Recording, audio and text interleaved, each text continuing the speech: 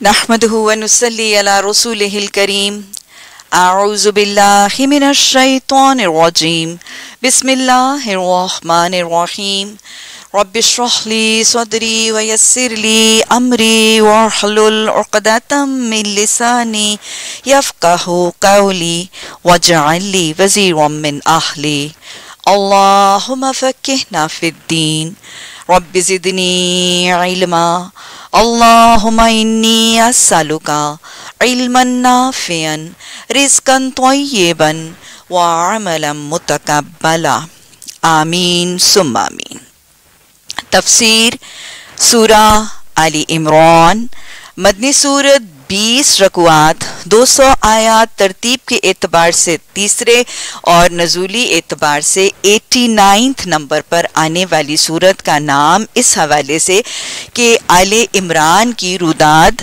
इसमें सुनाई गई है। और इसके अलावा दो नाम सूरा अल कंज और सूरा अल इस्तगना भी हमें कुछ मुफसरीन के हवाले से पहुँचते हैं। अगर ज़माना नजूल के हवाले से देखा जाए तो इसमें चार अज्जा। नजूली एतबार से चार अज्जा इसके बयान किए जाते हैं। पहले से लेके चौथा रकू, ये वो है जो कस्बा बदर के बाद नाजिल हुआ। चौथे से लेके छवा रकू, ये वो है जो नौ हिजरी में नजरान के वफद के आने के बाद उनके सवाल के जवाब में नाजिल हुआ। सातवें से बारहवा रकू गजबा बदर के बाद और तेरहवें से बीसवां रकू उहद किए रुदाद के बाद उसके तबसरे के हवाले से नाजिल हुआ। इसकी फजीलत अगर हम देखें तो रसूलुल्लाह सल्लल्लाहु अलैहि वसल्लम की हदीस मुबारक मुस्ंद अहमद में आप सल्लल्लाहु अलैहि वसल्लम ने फरमाया अज़हरावैन दो चमकने वाली सूरतें इन्हें पढ़ा करो, क्योंकि ये क़यामत के दिन इस हाल में आएँगी, जैसे दो साइबान बादलों के दो झुंड और परिंदों, बादलों के दो गरोह और परिंदों के दो झुंड, और ये पढ़ने वालों पर साया करेंगी और उनके हक में सिफारिश करेंगी। और वैसे हदीस में आता है कि कुरान से बढ़ के क़यामत के दिन कोई शाफी नहीं होगा। और हदीस के अल्फाज हैं कि कुरान ऐसा शाफी है कि इसकी सिफारिश रद्द नहीं होगी। और वो भी हदीस दोहराएँ कि फरमाया गया कि क्यामत के दिन रोज़ा और कुरान दोनों सिफारिश करेंगे। रोजा कहेगा, मैंने इसे खाने, पीने से रोके रखा और कुरान कहेगा, मैंने इसे सोने से रोके रखा। तो लिहाजा ये अजहरावैन कल अल्हम्दुलिल्लाह, सुम्मा अल्हम्दुलिल्लाह, हमने अजहरावैन की पहली सूरत सूरा अल बकरा मुकम्मल की और आज अल्हम्दुलिल्लाह सूरा अल इमरान का सिलसिला। अगर मुख्तसरा इसको कुछ यूँ रिलेट करूँ कि हमने सूरा फातिहा में पढ़ा कि बंदे ने दुआ की कि अल्लाह मुझे सरात मुस्तकीम की तरफ़ रहनुमाई करना और फिर मज़ीद वजाहत हुई कि जो मखदूब हैं, यानी यहूद, उनके रस्ते और दुआलीन, यानी ईसाइयों के रस्ते से पर चलने से बचने वाला बनाना।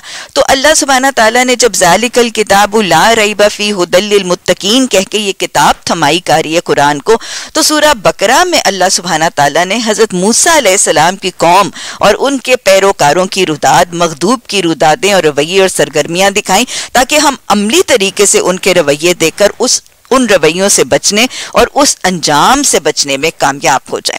और फिर सूरह अल इमरान में अल्लाह सुबहाना ताला ने दुआलीन और ईसाइयों की रुदाद का तस्करा फरमाया।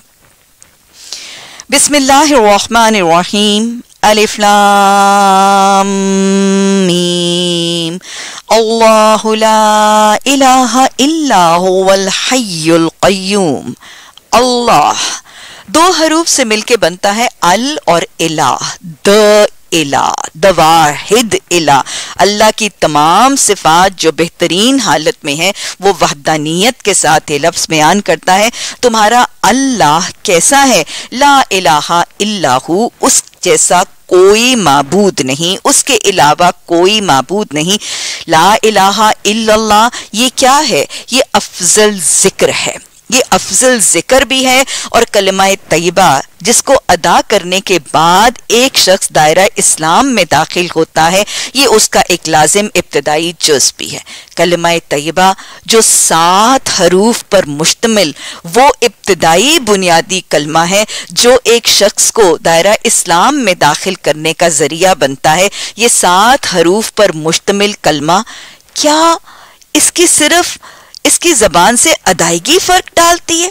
आप देखें कि वो शख्स जो कलमा तयबा पढ़ लेता है, उसके पढ़ने और उसके ना पढ़ने में ज़मीन आसमान का फ़र्क है। पढ़ने से पहले और पढ़ने के बाद की हालत में ज़मीन आसमान का फ़र्क है। पहले वो काफिर था फिर वो मुस्लिम मोमिन बन जाता है। पहले वो अल्लाह का नापसंदीदा मबगूज था, फिर वो अल्लाह का महबूब और पसंदीदा बन जाता है। उसका अंजाम पहले जहन्नुम था, फिर उसका अंजाम इंशाल्लाह अपनी मेहनत के बाद जन्नत बन जाता है। तो ये जो इतना रेडिकल ट्रांसफॉर्मेशन और ये जो इतना ज़बरदस्त फ़र्क रमूदार हुआ, क्या ये सिर्फ़ जबान की अदायगी से, क्या नोके जबान से ये कलमा सात हरूफ को पुकार देने के बाद? नहीं। There has to be something more than that सिर्फ़ जबान से पुकारना नहीं। तो क्या सिर्फ़ ये कलमा पढ़ने के बाद अपना नाम अपना नाम मोहन सिंह से या ग्रंथ सिंह से अब्दुल्ला रख लेना, या अपना नाम जो है वो जमीला या जैनब रख लेना?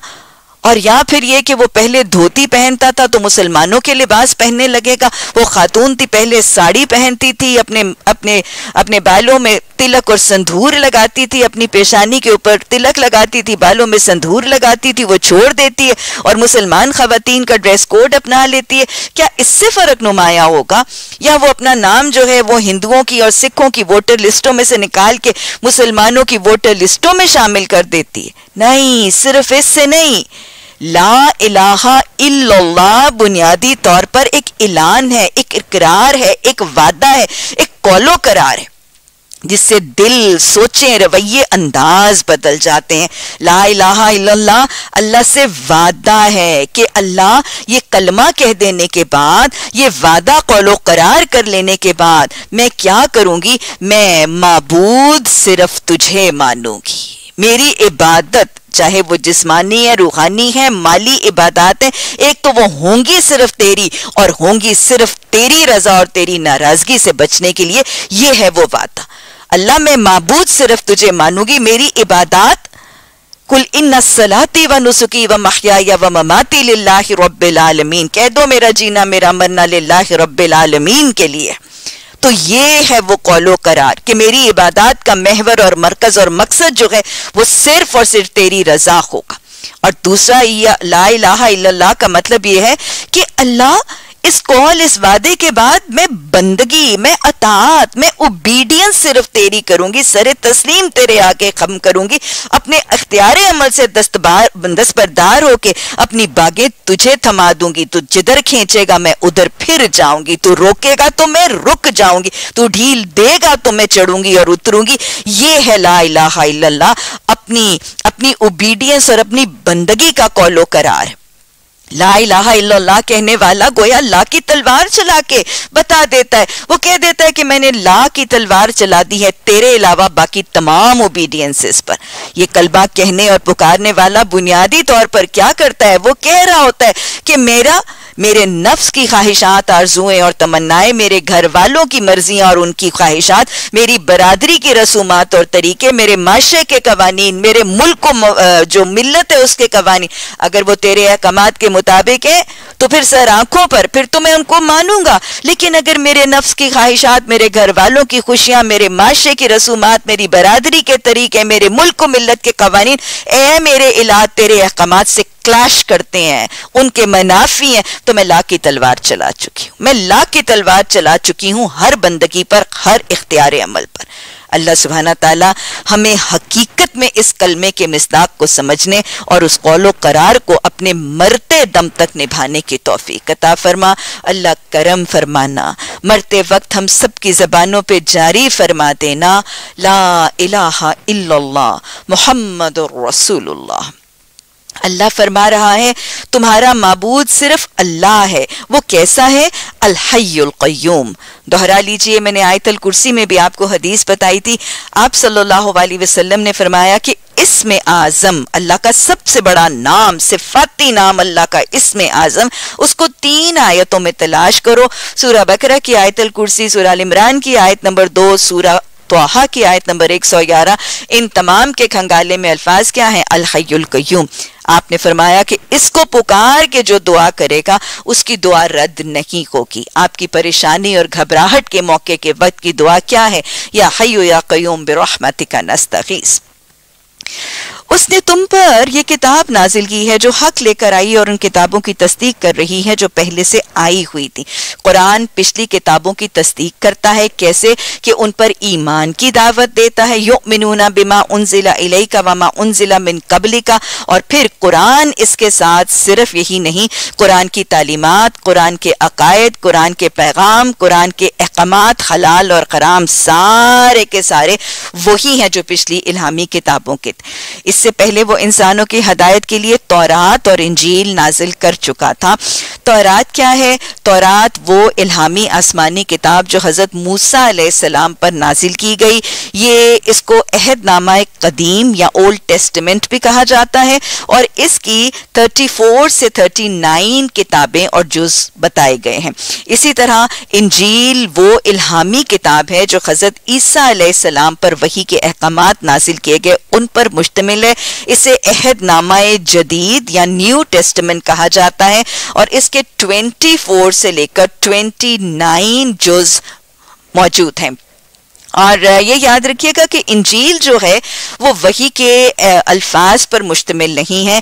इंजील सारी के सारी वही के नाजिल होने के बाद हज़रत ईसा सलाम जो खुतबा अपनी कौम को इर्शाद फरमाते थे, वो हज़रत ईसा सलाम के खुतबात पर मुश्तमिल है।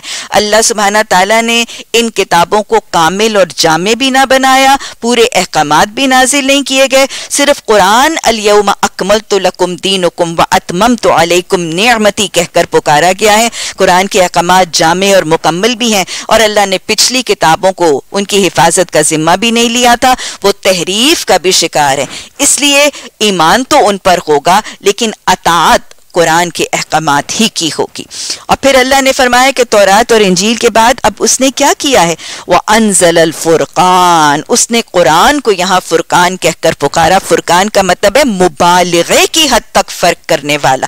किसमें?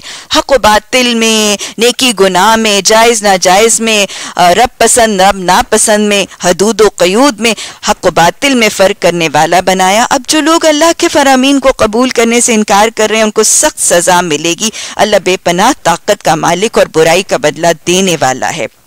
जमीनों आसमानों की कोई चीज़ अल्लाह से पोशीदा नहीं। वही तो है जो तुम्हारे माओ के पेट में तुम्हारी सूरतें जैसे चाहता है, बनाता है, उस ज़बरदस्त हिकमत वाले के सिवा कोई खुदा नहीं। वही खुदा है जिसने ये किताब तुम पर नाजिल की है। इस किताब में दो किस्म की आयात हैं। दो किस्म की आयात में से पहली मोहकमात हैं। मोहकमात कुरान की वो आयात हैं जिनमें मोहकम क्लियर, कट, दो टोक वाज अहकाम पर मुश्तमिल है, जिसमें अल्लाह सुबहाना ताला ने अकायद की बात की है, ईमानियात की बात की है नेकी और गुनाह के तस्वुरात, हलाल और हराम की बातें, हदूदुल्लाह, कुरान के कवानीन बताए गए हैं। ये वो सारी कुरान की आयात जो बिल्कुल मोहकम है, जो बिल्कुल क्लियर कट अहकाम पर मुश्तमिल है, ये मोहकमात है। अल्लाह ने फरमाया, हन्ना उमुल किताब असल किताब यही है। और दूसरी कौन सी है? मुतशाबिहात। मुतशाबहात का मादा शुभा से है, शुभा डालने वालियाँ। जिनको पढ़ने पर उनका मतलब क्लियर कट तरीके से समझ नहीं आता और उनके मानी, उनके पैगाम जो है, वो कुछ मुश्तबे से, वो कंफ्यूजिंग से, वो कुछ डाउटफुल से और कुछ छुपे और मुबहम से रह जाते हैं। मुतशाबहात जो है, उनकी तादाद मुख्तलिफ़ बताई गई है, कुछ के नज़दीक सत्रह है, कुछ पाँच कहते हैं। और अगर मैं आपको मिसालें दूँ तो जैसे अल्लाह सुबहाना ताला हमने कल ही आयतल कुर्सी पढ़ी तो वहाँ पे अल्फाज वैसे कुर्सी कुर्सी उसमावती वाल अर्थ कि अल्लाह सुबहाना तला की कुर्सी जो है वो ज़मीन व आसमान से ज़्यादा वसी है। अब अल्लाह की कुर्सी कैसी है? किस चीज़ की है? कहाँ है? कितनी बड़ी, कितनी छोटी? उसका रंग, उसकी शक्ल, उसकी खैयत, उसकी कैफियत, ये सब हमारे लिए क्या है? हम इसको कॉम्प्रिहेंड नहीं कर सकते, अपने फहम और शूर से इसका इदराक नहीं कर सकते। ये मुतशाबिहात है। इसी तरह अल्लाह कुरान में फरमाता है, खलक समावात अयाम समा कि ज़मीन और आसमानों को बनाया और फिर वो आसमान पर मुस्तवी हो गया। और फिर अल्लाह का अर्श कैसा है, कहाँ है, और उस पर अल्लाह के मुतमक्न होने और मुस्तवी होने की क्या कैफियत, क्या पोजीशन क्या पोस्चर क्या एटीट्यूड ये सब हमारे लिए एक टोटल, एक टोटल अननोन एरिया है, ये मुतशाबिहात तो अल्लाह ने फरमाया कि जिन लोगों के दिलों में टेढ़ है ना, जैसे अल्लाह ने बताया कि आयात दो किस्म की हैं तो फिर इन आयात के साथ रिलेट करने वाले जो कुरान के तालिब इल्म है ना, वो भी सब एक जैसे नहीं होंगे, वो भी दो कैटेगरीज के हैं। पहली कैटेगरी कौन सी है? जिन लोगों के दिलों में टेढ़ है, वो फितने की तलाश में क्या करते हैं? हमेशा मुतशाबे हाथी के पीछे पड़े रहते हैं। इतनी मोकम इतनी वाज अहकाम पर मबनी आयात से कुरान भरा पड़ा है। लेकिन उन हमत वाली और उन अहकाम पर मुश्तमिल आयात को छोड़कर मुतशाबहात जिनके मानी जो है क्लियर नहीं है, उन्हीं के पीछे पड़े रहते हैं। और क्यों पड़े रहते हैं? उनको मानी पहनाने की कोशिश किया करते हैं। हालाँकि उनका हकीकी मफहूम अल्लाह के सिवा कोई नहीं जानता। तो ये पहला गरोह है, जिनके जहन टेढ़े हैं, सोचे टेढ़ी हैं। कुरान में तजस्स कुरेद मुतशाबहात के साथ लगाते और सीधा साधा दो टोक अहकाम का रवैया अपनाना छोड़ देते हैं। ये जेनी टेढ़ वाले और दिल की कजी वाला पहला करो इसके अलावा दूसरे लोग कौन से हैं? फिल अल्लाह दूसरे गरोह की सिफ्त बता रहे कि वो इल्म में कुरान और हदीस और दीन के अहकाम के इल्म में वो रासिख हैं। रासिख का मतलब क्या है? कि उनको कुरान और हदीस और दीन और जो शरीयत है, उसके अहकाम में रसूख है। दीन और कुरान का इल्म उनके सीनों में गहरा, रचा, बसा, गड़ा हुआ है। अल्लाह हमें इनमें बनाते। अल्लाह हमें कुरान के अहकाम और तालीमत में पुख्ता इल्म और रसूख अता फरमा दे लेकिन सिर्फ़ दुआ नहीं, अब आगे देखें कि ये रासिखूनल इल्म का क्या रवैया है? इनके क्या सरगर्मियाँ और अंदाज है? रासिखूनल इल्म पता क्या है? वो कहते हैं कि हम उन पर किन पर? जो मुतशाबहात हैं, हम उन पर ईमान लाए। ये सब हमारे रब की तरफ़ से। गोया कुरान में रसूख उस शख्स को मिलता है, जो मुतशाबहात के पीछे कुरेद और टो नहीं करता तजस्स नहीं करता, और फिर कुरान के साथ सीधा सादा रवैया रखता है। उसमें कोई कजी और टेढ़ के बजाय मुहकमात को सुनता है और मानता जाता है। इन्हीं को कुरान में रसूख और रासिकुल इल्म बनते हैं। और अल्लाह फरमाते हैं, सच ये है कि किसी चीज़ से सही सबक तो सिर्फ़ कौन हासिल करते हैं? उलुल अलबाब। मैं और आप, हम सब कुरान के अहकाम से सबक भी हासिल करना चाहते हैं और मैं और आप कुरान के इल्म रसूख और पुख्तगी अपने लिए और अपने अहल खाना के लिए भी चाहते हैं। तो अल्लाह सुबहाना ताला यहाँ पर सियाने और समझदार लोगों की सिफात बता उलुल अलबाब का मतलब होशमंद कौन है? सियाने कौन है? समझदार कौन है? हमारे माशरे में सियाना कौन? पैमाना बहुत फ़र्क है। वो जो कहते हैं ना जिदे करदाने उदे कमले भी सियाने, हमारे घर तो हमारे माशरे में तो सियाना समझदार वो है ना, जिसके पास माल है, कोठी है, जायदाद है बड़ी सी गाड़ी है, बहुत बड़ा सा दुनियावी तरक्की के महलात है, उसको हम सियाना कहते हैं। बड़ी समझदार है, बड़ा सियाना है, बड़ा प्रोग्रेसिव है, बड़ा इंटरप्राइजिंग है। अल्लाह के यहाँ सियाने होने का पैमाना क्या है? अल्लाह के यहाँ सियाने वो हैं जिनके कुरान के ताल्लुक में कजी नहीं है टेढ़ नहीं है क्रुकेडनेस नहीं है अपने ताल्लुक बिल कुरान में, और वो कुरान के साथ सीधा सीधा मोहकमात को समझते हैं, और यही वो सियाने हैं जिनको कुरान के इल्म के अंदर रसूख भी है। अल्लाह के यहाँ सियाने वो हैं जो कुरान के इल्म में रासिक हैं, पुख्ता हैं, सीधे हैं क्रिकेट नहीं और टेढ़ा रवैया ने इख्तियार करते। अल्लाह हमें ऐसा सियाना बना दे। अल्लाह हमें ऐसे उलुल अलबाब की सफ में शामिल फरमा दे। और ये इस आयत से वाज तौर पर समझ में आ रहा है कि कुरान में रसूख हासिल करने के लिए, अल्लाह के सियाने बंदों की सफ में शामिल होने के लिए कुरान में रासिक होना ज़रूरी है। और कुरान में रासिक होने के लिए कुरान के साथ सीधा क्लियर दो टोक रवैया होना ज़रूरी है। कोई टेढ़ और क्रिकेटनेस होगी तो रासिकुल इल्म नहीं होंगे कुरान। मैं कई दफ़ा कील के गाड़े जाने की मिसाल देती हूँ। आप देखें कि जब हम दीवार के अंदर एक कील ठोंकते हैं तो हम क्या करते हैं? उस कील को बिल्कुल सीधा रगड़ते हैं, रखते हैं, एक हाथ से पकड़ते हैं फिर आहिस्ता आहिस्ता जो हथौड़ी या हैमर है, उसके साथ जरबे लगाते हैं और कील जो है वो दीवार में दाखिल जब बहुत उसका हिस्सा हो जाता है तो फिर उसके हम ऊपर कोई वज़न वगैरह जो है वो लटका भी लेते हैं और वो वज़न उठाने के काबिल भी होता है। लेकिन ऑन द कॉन्ट्ररी अगर ये कील जो दीवार पर रखा गया, इसको गाड़ने से पहले जरा सा टेढ़ा रखा गया और जरबे लगाई गई तो बहुत दफ़ा कील दीवार में टेढ़ा दाखिल तो हो जाता है। जरबे लगाने के बाद कुछ हिस्सा उसका सिरे का हिस्सा दीवार में दाखिल तो हो जाता है। लेकिन ये मेरा और आपका यकीनी मुशाहिदा है कि जब कील दीवार में टेढ़ा दाखिल होता है। उसके ऊपर अगर हम कोई वज़न वगैरह लटका देते हैं तो शायद थोड़ी देर तो वो मुतहमल होता है उस वज़न को उठाने के लिए, लेकिन थोड़ी देर के बाद वो कील उखड़ के गिर जाता है। चीज़ भी गिरती है, कील भी गिरता है और दीवार के ऊपर एक बहुत ही बदनुमा सा धब्बा भी रह जाता है। ये है रासिकुल इल्म होने का तरीका। कुरान का ताल्लुक अगर सीधा होगा, उसमें कोई कजी और टेढ़ नहीं होगी, फिर ही कुरान का इल्म दिल में दाखिल होगा और सीधे रवैये के बाद जो कुरान का इल्म दिल में दाखिल होगा, वो पुख्ता भी होगा, मज़बूत भी होगा, साबित कदनी भी होगी और अमाल सवालिया का वज़न भी उठाएगा। लेकिन अगर कुरान के साथ टेढ़ का रवैया हुआ, कजी का रवैया हुआ, अगर कुछ इल्म दिल में दाखिल हो भी गया कुरान पढ़ते, सुनते, सुनाते वक्त तो क्या है?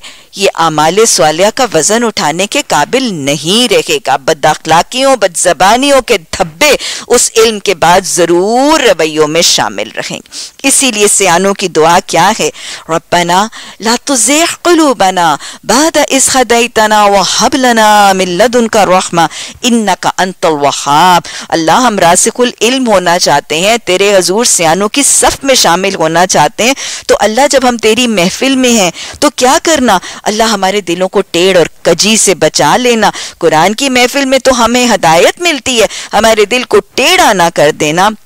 हमें अपने खजाना फैज से रहमत अता कर, तू फयाज हकीकी है, परवरदिगार, यकीन तू सब लोगों को एक रोज जमा करने वाला है, जिसके आने में कोई शक नहीं, तू हरगिज अपने वादे से टलने वाला नहीं। जिन लोगों ने कुफर का रवैया अख्तियार किया है, उन्हें अल्लाह के मुकाबले में ना उनका माल कुछ काम देगा, ना औलाद, वो तो दोजक का ईंधन बन के रब्बी अल्लाह अचिरना मिनन्नार। अल्लाहुम्मा अजिरना मिनन्नार अल्लाहुम्मा अजिरना मिनन्नार दोहरा लीजिए हदीस मुबारक के अल्फाज हैं कि जो शख्स तीन दफ़ा जहन्नुम से निजात की दुआ माँगता है तो फिर जहन्नुम उसके लिए सिफारिश करता उनका अंजाम वैसा ही होगा जैसे फिरौन के साथियों और उनसे पहले के नाफरमानों का हो चुका है। उन्होंने आयात इलाही का इनकार किया। नतीजा ये हुआ कि अल्लाह ने उनके गुनाहों पर उन्हें पकड़ लिया और हक ये है कि अल्लाह सख्त सजा देने वाला है। बस, जिन लोगों ने तुम्हारी दावत को कबूल करने से इनकार कर दिया है, उनसे कह दो, करीब है वो वक्त जब तुम मगलूब हो जाओगे और जहन्नुम की तरफ़ हाँक के जाओगे और जहन्नुम बहुत ही बुरा ठिकाना रब्बना सिर्फ़ अन्नाजाब जहन्नुम तुम्हारे लिए उन दो ग्रोहों में एक निशान इबरत था, जो बदर में एक दूसरे से नबुरद आजमा हुए थे। मैंने आपको बताया ना कि पहले से लेकर चौथा, जो रकू है, ये बदर के बाद नाजिल हुआ। तो उसका तबसरा किया जा रहा है। एक ग्रोह अल्लाह की राह में लड़ रहा था। कौन सा मुसलमानों का। तीन सौ तेरह की मुट्ठी भर जमात। और दूसरा ग्रोह एक हज़ार का मुश्किन मक्का का लश्कर। दूसरा ग्रोह वो काफिर था। देखने वाले बचश में सर देख रहे थे कि रो मोमिन गरोह से दो चंद है, मगर नतीजे ने साबित कर दिया। अल्लाह अपनी फतह और नुस्से से जिसको चाहता है मदद देता है, किसको देता है? यौमुल फुरकान में तीन सौ तेरह का गुरु एक हज़ार के इतने बड़े काफिर गरोह पर गालिब आ गया था। हक बातिल की हक्कानियत तो यौमुल फुरकान बदर में वाजे हो गई। दीदा बीना रखने वालों के लिए इसमें बड़ा सबक पोशीदा है। क्या सबक पोशीदा है कि अल्लाह की मदद, फतर और फतह और नुसरत किसके शामिल हाल होती है? जो हक पर जमने वाला, जो बातिल के खिलाफ उठने वाला। अल्लाहुम्मा अरिनल हक हक वर्जुकन तिबा अल्लाहुम्मा अरिनल बातिल बातिल वर्जुकन इज्तिनाबा सूरह इमरान की आयत नंबर चौदह जुयना लिन्नासी हुब्बु शहावात मिनन निसा हुब्बु शहावात दिल पसंद चीज़ें, महबूब चीज़ें दिल पसंद चीज़ें, जिनकी शहवत, जिनकी ख्वाहिश, जिनकी डिज़ायर तुम्हारे दिलों में रची, बसी गई है, वो चीज़ें जो दुनिया की अट्रैक्टिव टेम्पटिंग चीज़ें हैं वो जिनका हुसन तुम्हारी निगाहों को अट्रैक्ट करता है, निगाहों को खीरा कर देता है, उनकी लिस्ट है। अल्लाह कहता है कि इनको इंसानों के लिए अल्लाह ने खुब शहवात मरगूबात, नफ्स चीज़ें जो हैं वो कौन सी हैं?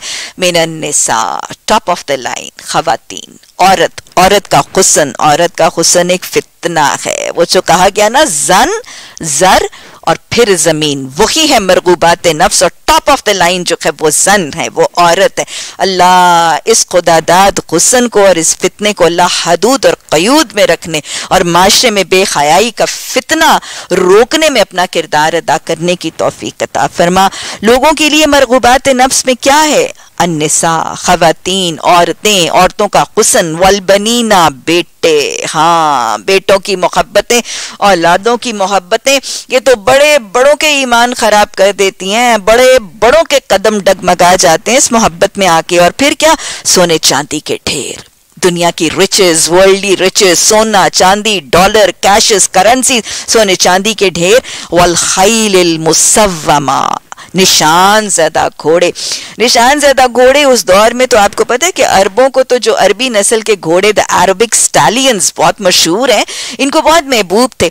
और वो जो बड़े बड़े मालदार बड़े बड़े सरदार होते थे, जिनके कब्जे में बहुत घोड़े होते थे, वो अपने तकबर और अपने तफाखुर के लिए अपने नाम की, अपनी अलामत की कोई मोहरें बना लेते थे, जिनके साथ उनको दाग दिया जाता था, ताकि वो घोड़े जहाँ जहाँ जाएँ और कसीर तादाद में जाएँ तो वो उस मालदार शख्स के माल और उसकी तकबर जो है उसकी उसकी रुदाद लोगों तक पहुँचाए। तो ये निशान ज़्यादा घोड़े उस दौर में थे।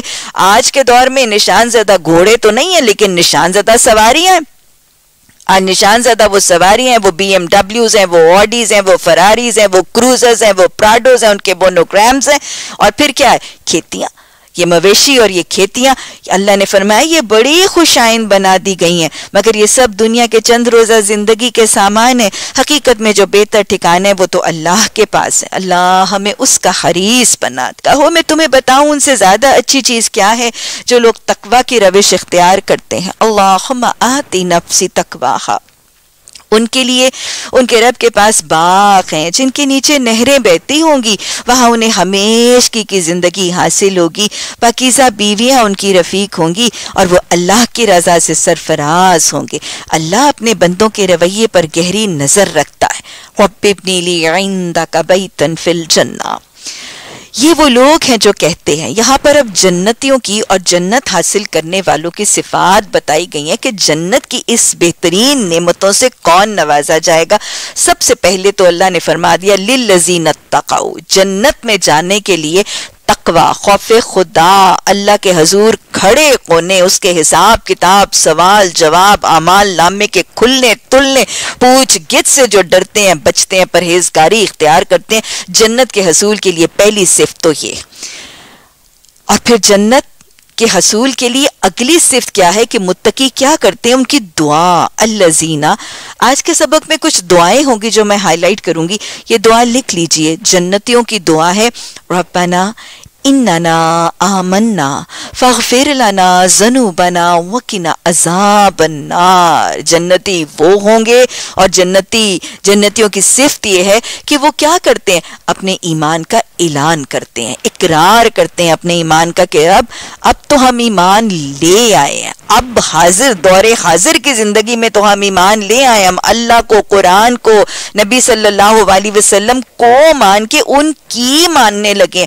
अब तो ईमान ले आए हैं अल्लाह। पीछे ईमान लाने से पहले तो गुनाह कर चुके हैं। फिर लना जनूबाना। अल्लाह जो पिछले हैं ना, उनको बख्श देना, उनको माफ़ कर देना। और अंदा आइंदा क्यों? ये हम मांग क्यों रहे हैं? हम ईमान क्यों लाए हम बख्शिश क्यों मांग रहे हैं? क्योंकि आगे हमें किस चीज़ की फ़िक्र है? वह कहना अजाबन्नार अल्लाह हमें जहन्नुम और आग के अजाब से बचा ले। ये है मोमिन की हाल, उसका माजी और उसका मुस्तकबिल, जो कल भी मैंने आपको सूरा बकरा में बताया। मोमिन का हाल क्या है? आमन्ना। ईमान लाना और उसके बाद अतात करना, मान लेना, अपनी इसलाह करना, अपनी तस्किया और अपनी तरबियत करना। माजी के गुनाहों की बख्शिश और उससे तायब होकर रब के साथ इस्तफार को अपनाना और मुस्तकबिल के लिए अपने दुनिया की फिक्रें नहीं, यहाँ के कारोबारों और धंधों की फिक्रें नहीं, फ़िक्र आखरत को अपनी गालिब फ़िक्र बनाना। ये है वो तरीका और ये है वो तरजीहत जो माजी हाल मुस्तबिल के साथ जन्नतियों की होंगी। और फिर ईमान जाने के बाद जन्नती क्या करते हैं? राह हक में चलते हैं, फ़िक्र आखरत से आशना होते हैं। असाबरीन फिर सबर करते हैं, जमे रहते हैं, डटे रहते हैं। राह हक में जो तकलीफें आती हैं, उन पर परेशान नहीं होते। परेशान होकर उनको छोड़ नहीं देते अपने रब की बंदगी को। साबित कदमी से उस पर जमे और डटे रहते हैं। असाबरीन कैसे वसादकीन सच्चे दिल से, सच्चे रब के, सच्चे अहकाम की अतात करते हैं। कैसे वलकौनतीन, मुकम्मल फर्मा बरदारी करते हैं। वलमुफिकीन जन्नत के सौदागर हैं, जन्नत के घर के कसूल के लिए अल्लाह से तिजारत करके मुनफिकीन खर्च करते हैं। और ये सारा काम जो उनका, ये सारी सरगर्मियाँ जो उनकी हैं, उसके बाद ये तो काम दिन को है ना कि सबर करते हैं, अतात करते हैं, बंदगी करते हैं, खर्च करते हैं। रातें कैसी होती हैं जन्नतियों की? वलमुस्तफरीन बिल असहार सहरी के औकात में इस्तफार करते हैं। क्या खूबसूरत मामला हैं जन्नतियों के। दिन इतने हैपनिंग दिन में इतनी पॉजिटिव रब पसंद सरगर्मियाँ, उसके बावजूद भी रातों को सहरी के वक्त इस्तफार और इस हाल सहरी के वक्त में इस्तफार क्यों? क्योंकि हदीस ने क्या बताया? आप सल्लल्लाहु अलैहि वसल्लम ने फरमाया ना कि रात की आखिरी तिहाई last one third of the night में अल्लाह सुबहाना ताला आसमान दुनिया पर उतरते हैं, अपना हाथ फैलाते हैं और क्या ऐलान करते हैं? ये सब हमारे लिए, आसमान दुनिया पर अल्लाह का उतरना, अल्लाह का हाथ फैलाना हमारे लिए क्या है? सब मुतशाबिकात है। हमें इस पर ईमान लाना है। कुल्लुमिनंदी रब्बिना, कोई कुरेद और तजस्सुस और टो में नहीं जाना। असल में इसकी कुरेद में जाके अगली चीज़ को खो नहीं देना। अल्लाह सुबहाना ताला अपना हाथ फैलाते हैं और क्या ऐलान फरमाते हैं? अल्लाह ऐलान फरमाता है है कोई जो मुझसे मांगे और मैं उसकी हाजत कबूल करूँ? है जो कोई दुआ करे और मैं उसकी झोली भर दूँ? है कोई जो मुझसे गुनाहों की बख्शिश तलब करे और मैं उसके गुनाह बख्श दूँ? और आपने फरमाया कि ये ऐलान अल्लाह सुबहाना ताला फजर की नमाज़ की आजान तक करते रहते हैं।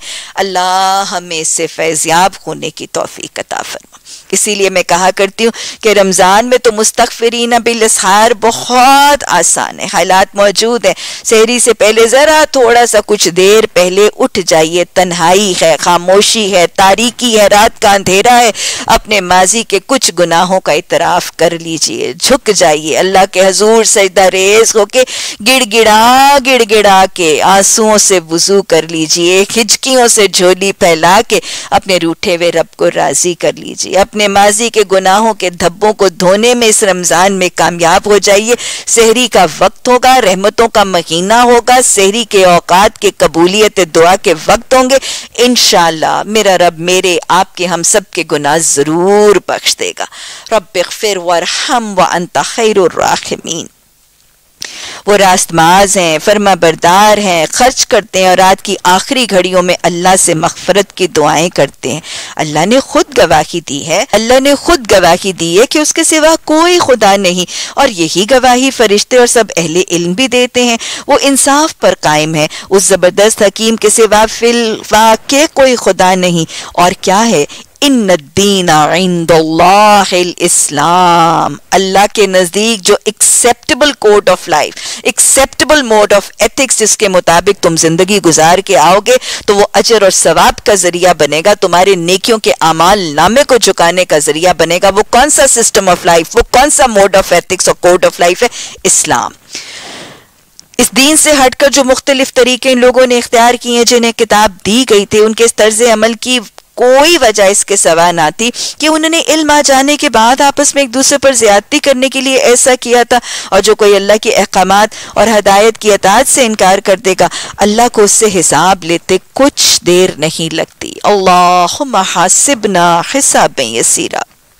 अब अगर ये लोग तुमसे झगड़ा करें तो उनसे कह दो, मैंने और मेरे पैरों ने तो अल्लाह के आगे सर तस्लीम खम कर दिया है। फिर अहले किताब और गैर अहले किताब दोनों से पूछो, क्या तुमने भी उसकी बंदगी और अतात कबूल की? अगर की तो वो राह रास्त पा गए, और अगर इससे मुँह मोड़ा तो तुम पर साफ़ पैगाम पहुँचा देने के सिवा कोई और ज़िम्मेदारी नहीं थी। आगे अल्लाह खुद अपने बंदों के मामला देखने वाला है। जो लोग अल्लाह के अहकाम और हदायत को मानने से इनकार करते हैं और उसके पैगंबरों को नाहक कत्ल करते हैं। सूरह इमरान की आयत नंबर 21 में अल्लाह सुबहाना ताला ने कुछ लोगों को दर्दनाक अजाब की खुशखबरी सुनाई है।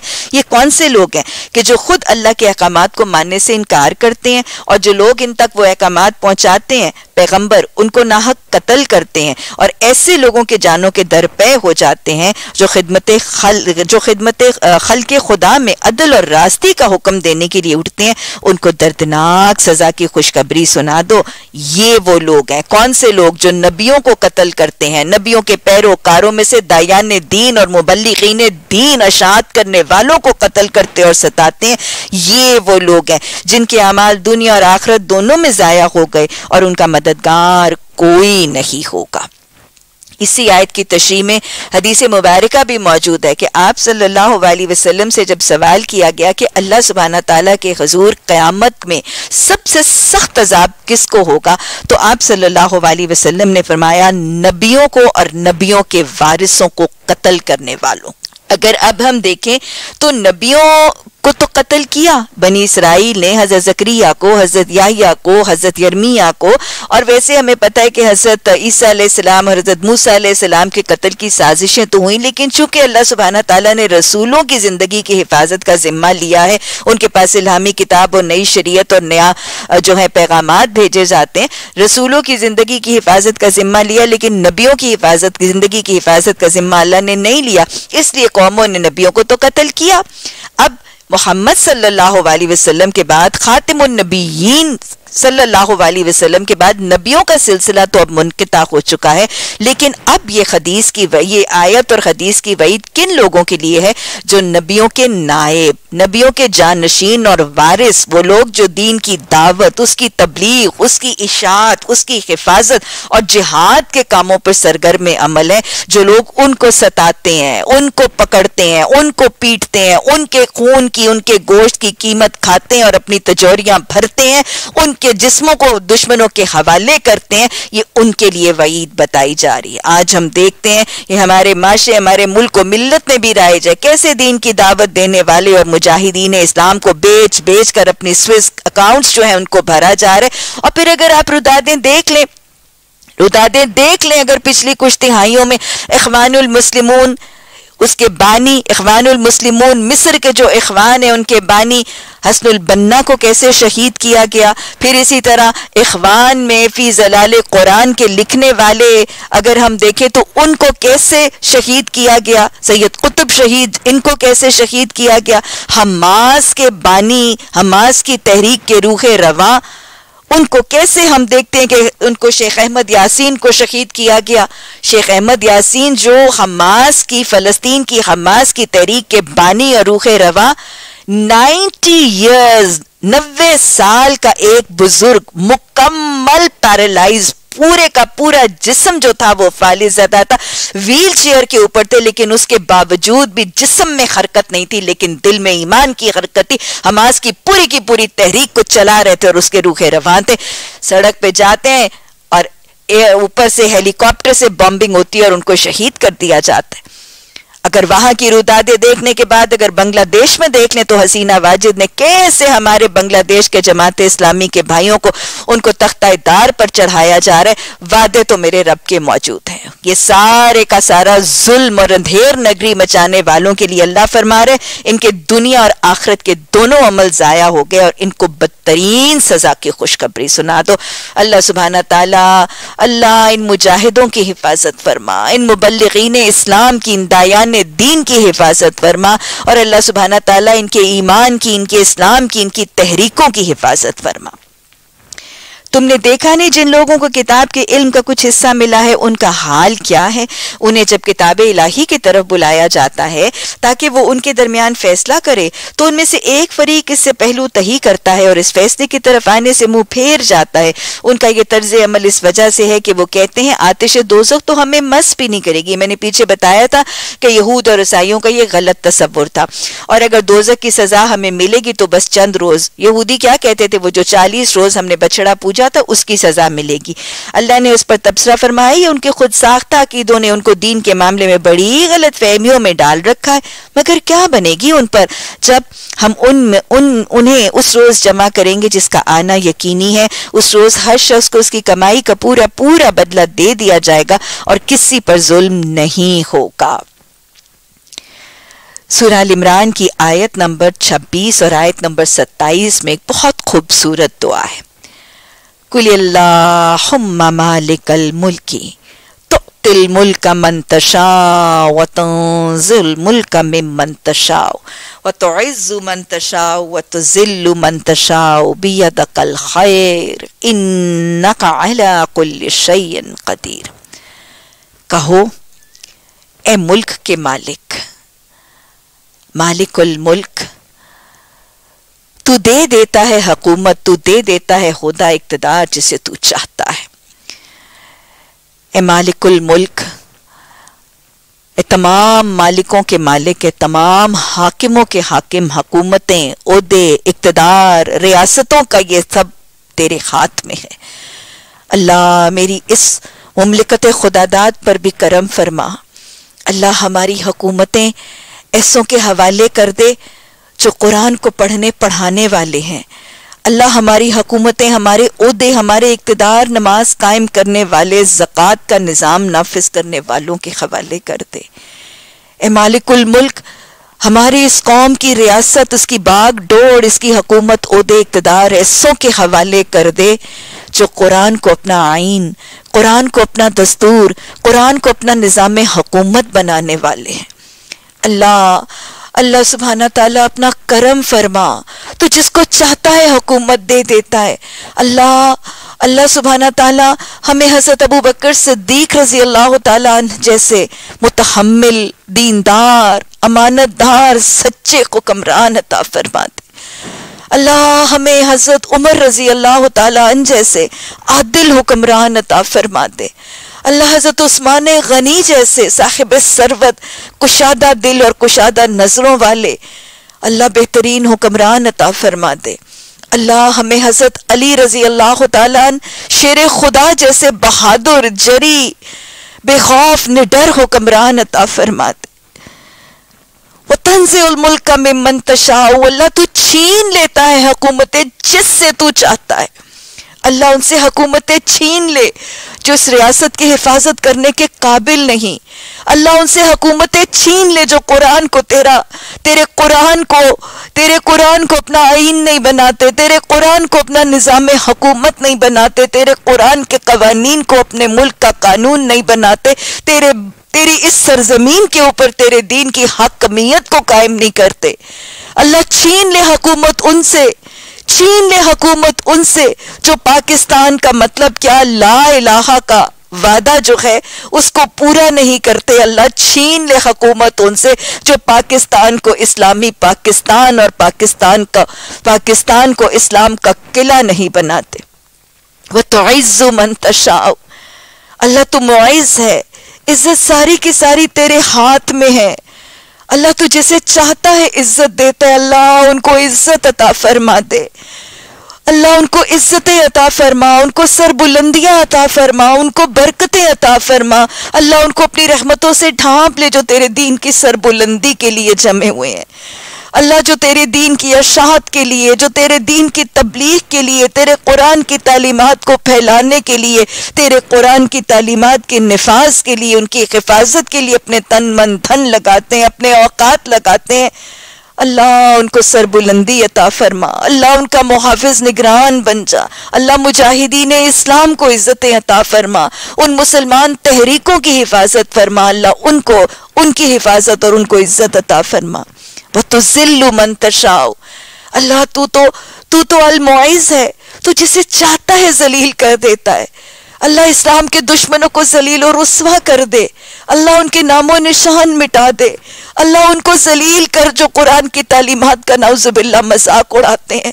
अल्लाह उनको जलील और रसवा कर दे जो तेरे नबी सल्लल्लाहु अलैहि वसल्लम की सुन्नतों को उनकी सुन्नतों को डिफेम करने की कोशिशें और साजिशें करते हैं। अल्लाह उनको जलील और रसवा कर दे जो इस्लामी रियासतों की सरहदों पे गंदे निगाहों से बढ़ते हैं। अल्लाह उनकी चालों को उन्हीं पर उल्टा दे।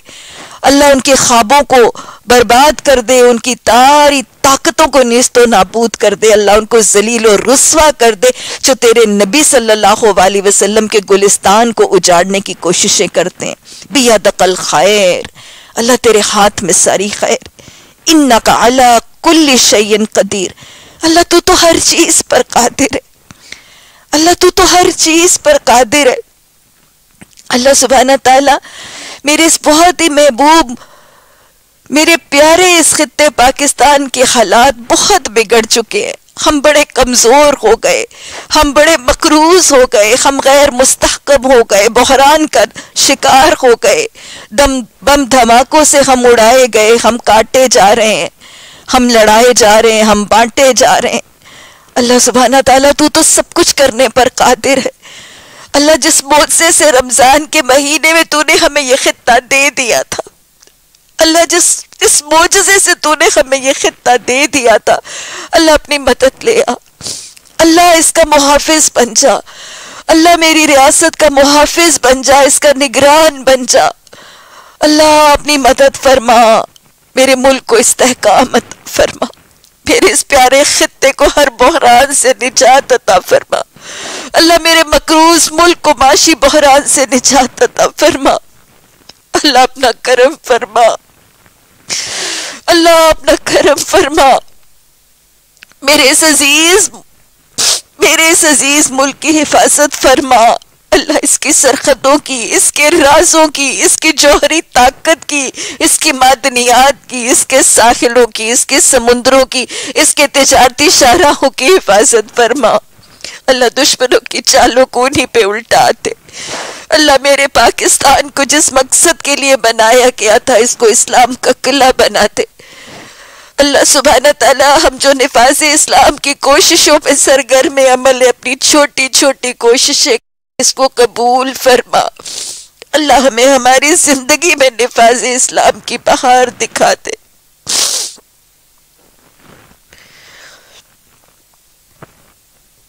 तू रात को दिन में परोता वाले आता है और दिन को रात में जानदार में से बेजान को निकालते और बेजान में से जानदार को। वो तर्ज को मैशा बेगैर हिसाब। और तू जिसे चाहता है बेहिसाब रिस्क फरमाता है। अल्लाह रिस्क की तंगियाँ दूर फरमा दे। अल्लाह मेरे मुल्क की रिस्क की तंगियाँ दूर फरमा दे। वसाइल, असबाब, रिसोर्सेस की कमियाँ दूर फरमा दे। अल्लाह मेरे मुल्क की रौनकें वापस लौटा दे। मेरे गली कूचों की बहारें हमें वापस लौटा दे। अल्लाह मेरे मुल्क की मसाजिद की वो सफ़े हमें वापस लौटा दे। अल्लाह रमज़ान मुबारक के इस महीने में अपना करम फरमा।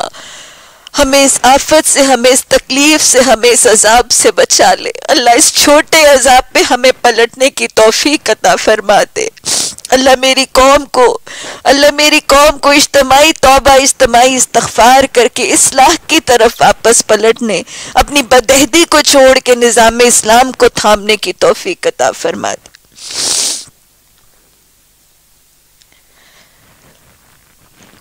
बहुत ही खूबसूरत सी ये दुआ सूर इमरान की आयत नंबर 26 और 27 में।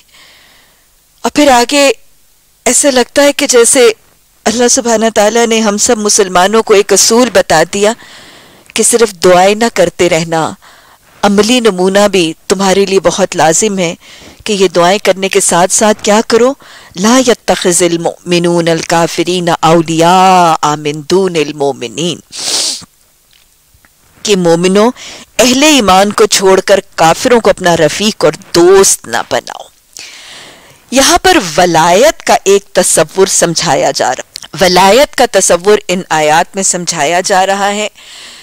मुख्तसरन आपको अगर वाज करती चलूँ तो इंसानी ताल्लुकात की बुनियादी तौर पर चार किस्में हैं। पहली किस्म जो हमारी रोज़मर्रा ज़िंदगी में सबसे हल्का फुल्का इंसानी ताल्लुक जो है वो मामलात है। बस हम अपने घर से निकलते हैं, अपने बच्चे को स्कूल से लेने के लिए जाते हैं। वहाँ पे गेट कीपर से एक मामला होता है, फिर साथ बैठी हुई माओ के साथ कुछ मामला होता है जो अपने बच्चों को लेने के लिए आई हैं। हम बाज़ार में जाते हैं, कपड़े की दुकान पे, सब्ज़ी, फल की दुकान पे, वहाँ पे दुकानदार के साथ कुछ डीलिंग है। ये मामलात है। ये हल्का फुल्का सा जो ह्यूमन डीलिंग्स हमारी social life to life day to day life के अंदर होता है, ये मामलात है। इससे ज़रा और करीबी ताल्लुक जो है वो मदारात हैं। और मदारात वो है कि जब कोई शख्स हमारे घर ही पहुँचता है तो फिर ज़ाहिर हम मेहमान की मेज़बानी हमारे, हम पर हक है और फिर हम उसकी मेहमान नवाजी करते हैं, उसकी मदारत करते हैं, उसकी तवाज़ो करते हैं। तो इस रिलेशनशिप को मदारात कहा जाता है। इसके बाद अगला रिलेशनशिप जो है वो मवासात का है। मवासात का मतलब है कि किसी की खबरगिरी करना किसी की मदद करना मुआवनत करना कोई तकलीफ़ में है दुख में है परेशानी में है जुल्म का शिकार है तो उसकी मदद उसकी आनत उसकी खबरगिरी और उसकी मुआवनत करना ये मस, मामलात के मदारात के बाद मवासात है। ये तीन ह्यूमन रिलेशनशिप और चौथी ह्यूमन रिलेशनशिप जो है, उसे मवालात कहा जाता है। वो शख्स जिसके साथ मवालात का ताल्लुक है, वो वली है। ये क्लोजेस्ट और सबसे ज़्यादा करीबी ताल्लुक है इंसानी ताल्लुकात में से। मवालात और वली के साथ ताल्लुक कैसा है, उसके पैमाने अगर आप लिख लीजिए तो आपके लिए बेहतर होगा इसको समझना। वली वो शख्स है और वलायत का ताल्लुक वो ताल्लुक है जिसमें दिली गहरी मोहब्बत दिल की मोहब्बत दिल में रची, बसी, गड़ी हुई। ये वलायत है। और फिर इस मोहब्बत की वजह से राज, भेद सीक्रेट्स राजो न्याज, बतानत का मामला है। सीक्रेसी सीक्रेट शेयर किए जाते। फिर सीक्रेट शेयर करने के बाद उनसे मशावरत ली जाती है, उनसे मशवरा लिया जाता है गाइडेंस ली जाती है, रहनुमाई ली जाती है और फिर चौथे लेवल के साथ उनको कॉपी उनको फॉलो उनको आइडलाइज और ग्लैमराइज किया जाता है और पाँचवें लेवल पर वलायत का रिश्ता वो है कि जब फुर्सत के औकात में एंटरटेनमेंट और अपनी इंजॉयमेंट के तरीके, उनके तरीके के अडॉप्ट किए जाते हैं और मिलकर मज़ा और लुत्फ उठाया जाता है। तो ये वो ताल्लुक जिसमें दिली मोहब्बत है, जिसमें राजो न्याज है, जिसमें मशावरत है, जिसमें कॉपी करना करना और फॉलो करना है और फिर उनकी एंटरटेनमेंट के सिस्टम को आपस में शेयर करना है, ये वलायत का ताल्लुक है। अब कुरान और हदीस की रूह से इंसान, एक मुसलमान जो है, उसके लिए वला, क्या तस्वुरात हैं और क्या इजाज़त और लचक है? ये जो पहले तीन किस्म के रिलेशनशिप्स हैं, मामलात, मदारात और मवासात, एक मुसलमान सब के साथ कर सकता है, नहीं है, उसे करने हैं। कर सकता का लफ्ज नहीं मैं इस्तेमाल करूँगी, उसे करने हैं। कैसे हुसन सलूक और हुसन अखलाक और उसने मामला के साथ? ये तीन initial forms of human relationship एक मुसलमान को अपने से पराए से, दोस्त से, दुश्मन से, मुसलमान से नॉन मुस्लिम से, नमाजी से, बेनमाजी से, सब के साथ उसको हुसन सलूक और हुसन अखलाक के साथ मामला भी रखने हैं, मदारात भी करनी है और उसको मवासात भी करने हैं। मसलन आप देखें कि रसूल अलैहि की सुन्नत में ये सब कुछ साबित है। अगर आप मदारात में देखें तो हदीस के अल्फाज हैं कि जो शख्स अल्लाह और अल्लाह के रसूल सल्लल्लाहु अलैहि वसल्लम पर ईमान, आखिरत के दिन पर ईमान लाता है, उसे चाहिए कि अपने मेहमान की मेहमान नवाजी करे। और फिर अंबिया की सुन्नत है, मेहमान नवाजी करना तो मदारात सबकी की जाएगी। और मवासात इवन नॉन मुस्लिम के साथ हमें पता चलता है कि जब मक्का की बस्ती के अंदर कहत हुआ था तो रसूलुल्लाह सल्लल्लाहु अलैहि वसल्लम ने मदीना से गल्ला भेजा था। और समामा बिन उसाल ने जब इस्लाम कबूल किया और उसने मक्का वालों के लिए गल्ला बंद किया तो आप सल्लल्लाहु अलैहि वसल्लम ने फरमाया, समामा बाज आ जाओ। आपने इसको पसंद नहीं किया था, ये मवासात की बेहतरीन मिसाल है। लेकिन मामलात के हवाले से, और मैं ये आपको बताऊँ कि ये तीन ह्यूमन रिलेशनशिप्स मुसलमान, उसने अखलाक और उसने सलूक के साथ, सब के साथ इसलिए करेंगे कि एक तो मुसलमानों ने नॉन मुस्लिम्स के साथ भी पढ़ना है, पढ़ाना है, सीखना है, सिखाना है, और फिर बिज़नेस है ट्रेड है, सब कुछ है। अगर ये सब कुछ नहीं होगा तो इल्म में, फन में, हुनर में, कारोबार में ट्रेड में बिज़नेस में, दुनियावी तरक्की के बहुत से शोबे में मुसलमान बहुत पीछे रह जाएँगे। वो तो कुएँ का मेंढक बन के रह जाएँगे। और फिर दूसरी बात यह कि मुसलमान ये तीन डीलिंग्स जब सबके साथ हुसन सलूक और अखलाक से करेंगे तो ये एक दावत दीन होगी। मुसलमानों के अखलाक और हुसन मामला और सलूक के साथ लोग इस्लाम से मुतारफ होंगे और इस्लाम से कायल और माइल होंगे तो ये तीन ह्यूमन रिलेशनशिप तो मुसलमान सबसे हुसन सलूक और मामला से करेंगे। लेकिन वलायत, दिली दोस्ती और मोहब्बत और कॉपी और फॉलो करना और उनके साथ राज और न्याज शेयर करके उनसे मशावरत लेना, ये मुसलमान कैसे करेंगे? सबसे पहले हम कुरान में देखेंगे कि अल्लाह कहेगा कि काफिरों से वलायत ना करो। फिर आगे चलेंगे तो अल्लाह सुबहाना तला फरमाएगा कि अहले किताब, यहूद और ईसाइयों से भी वलायत ना करो। फिर उसके बाद सूरत तौबा में आप पढ़ेंगे कि अल्लाह सुबहाना ताला फिर वलायत का बहुत ही कड़ा पैमाना बता देगा और अल्लाह सुबहाना तला बताएगा कि अगर तुम्हारे अपने बाप और भाई, तुम्हारे अपने रिलेशन ऑफ़ किन भी अल्लाह की फर्मा बरदारी को, अल्लाह की नाफरमानी के ऊपर तरजीह देते हैं कि वो नाफरमानी की हालत को प्रेफर करते हैं prefer to stay in Allah की नाफरमानी तो उनके साथ भी अपनी विलायत ना करना। और ये मैं आपको बताती चलूँ कि ये ईमान इस्लाम को बचाने के लिए सबसे अहम है। क्योंकि वलायत अगर किसी के साथ होगी तो फिर ईमान को, इस्लाम को जो है, उस पर खतरा होगा। और ये जो वलायत का तरीका है, ये फर्दी फर्दी इंडिविजुअल लेवल पर भी है। यानी एक मुसलमान खातून जैनब जो है, वो एन के साथ या मार्गरेट के साथ बाकी तीनों डीलिंग्स करेगी, लेकिन वलायत नहीं करेगी। इसी तरह मुसलमान अब्दुल्ला जो है, वो जॉन के साथ या जेम्स के साथ, वो बाकी तीनों मामला करेगा, लेकिन उसको कॉपी नहीं करेगा, उसको आइडिलाइज नहीं करेगा, उससे मशवरा नहीं देगा, उससे अपने सीक्रेट्स नहीं बताएगा, और उस उसकी एंटरटेनमेंट के तरीकों को अपनी ज़िंदगी में राइज नहीं करेगा। तो इंडिविजुअल लेवल पर भी और स्टेट लेवल पर भी। एक मुसलमान रियासत नॉन मुस्लिम रियासत, वो हनूद है, यहूद है, नसारा है क्रिश्चियंस है ज्यूज है, जो भी है, उनको अपने राज नहीं बताएँगे। उनको कॉपी नहीं करेंगे। उनके साथ मशवरे नहीं लेंगे। जैसे आज पेंटागन से ओवल ऑफ़िस से डिक्टेशन आती हैं अमेरिका से आती हैं इंग्लैंड से आती हैं फ्रांस से आती हैं कि ये करो और हम पपिट्स की तरह उनकी उंगलियों पर नाचते हैं। नहीं, उनसे वलायत नहीं की जाएगी। ये हकूमती सतह से लेके एक फर्द की सतह पर यह वलायत के अहकाम की नफी कर दी गई है। अल्लाह ने फरमाया कि तुम क्या करो? अहले ईमान को छोड़कर काफरों को अपना वली न बनाओ। जो ऐसा करेगा, क्या करेगा? उनको अपना वली बनाएगा। तो उसका अल्लाह से कोई ताल्लुक ही नहीं। हाँ ये माफ़ है कि तुम उनके जुल्म से बचने के लिए बजाहिर ऐसा तर्ज अमल इख्तियार कर जाओ, मगर अल्लाह तुम्हें अपने आप से डराता है और तुम्हें उसी की तरफ़ पलट के जानना है। नबी सल्लल्लाहु अलैहि वसल्लम, लोगों को खबरदार कर दो। तुम्हारे दिलों में जो कुछ है उसे तुम छुपाओ या ज़ाहिर करो। बहरहाल, अल्लाह उसे जानता है।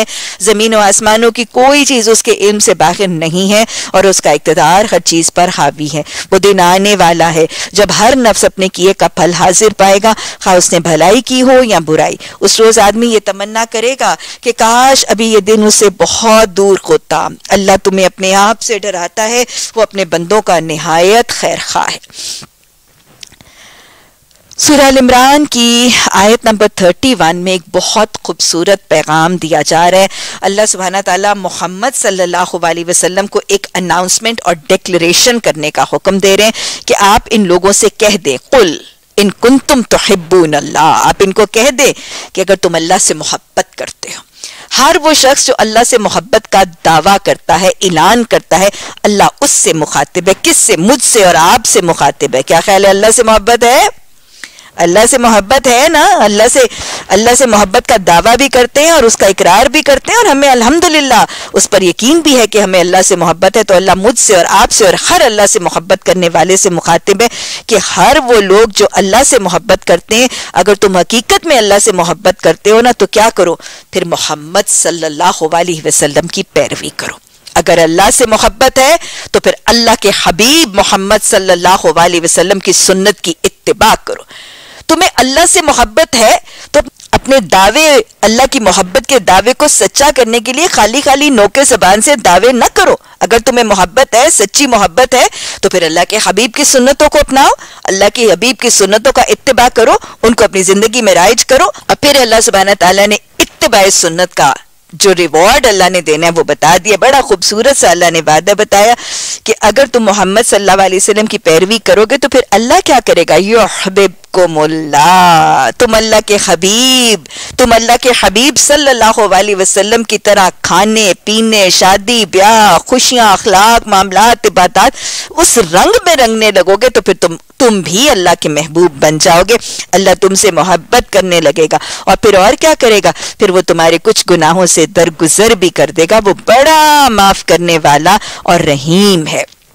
उनसे कहो, अल्लाह और अल्लाह के रसूल सल्लल्लाहु अलैहि वसल्लम की अतात कर लो। फिर अगर वो तुम्हारी दावत कबूल ना करें तो यकीनन ये मुमकिन ही नहीं है कि अल्लाह ऐसे लोगों से मोहब्बत करे जो उसकी और उसके रसूल सल्लल्लाहु अलैहि वसल्लम की अतात से इनकार करते हैं। गोया अल्लाह की अतात को नबी सल्लल्लाहु अलैहि वसल्लम की अतात के साथ मशरूद कर दिया गया। अल्लाह की मोहब्बत को नबी सल्लल्लाहु अलैहि वसल्लम के इत्तबा के साथ मशरूद कर दिया गया। हदीस के भी तो अल्फाज हैं। आपने फरमाया था तुम में से किसी का ईमान उस वक्त तक पूरा नहीं होता जब तक मैं उसे सबसे ज़्यादा महबूब नहीं हो जाता, यहाँ तक कि उसकी अपनी जान से भी। फिर आपने फरमाया कि तुम में से कोई शख्स उस वक्त उसका ईमान पूरा नहीं होता जब तक उसकी नफ्स उस चीज़ के ताबे नहीं हो जाती जो मैं देकर भेजा गया। और आपने फरमाया, वमन अतौनी फ़कद अल्लाह जिसने मेरी अतात की, उसने अल्लाह की अतात की इत्तबा सुन्नत। नबी सल्लल्लाहु अलैहि वसल्लम की सुन्नत का इतबा क्या देगा हमें और क्या फ़ायदा मिलेगा हमें? मैं आपको बताऊँ कि कई दफ़ा इतबा सुन्नत और सुन्नतों की बात होती है कि ऐसे खाएँ, ऐसे पिए, ऐसे कपड़े पहने, ऐसे कपड़े उतारे। तो बहुत से टेढ़े दिमाग वाले वो जिसे कहते हैं ना, वो सो कॉल्ड इंटेलेक्चुअल से लोग, वो कहते हैं, पता नहीं ये कुरान पढ़ाने वाले क्या छोटी छोटी बातों के पीछे पड़े रहते हैं और छोटे छोटे issues after all what the hell क्या फ़र्क पड़ता है इससे?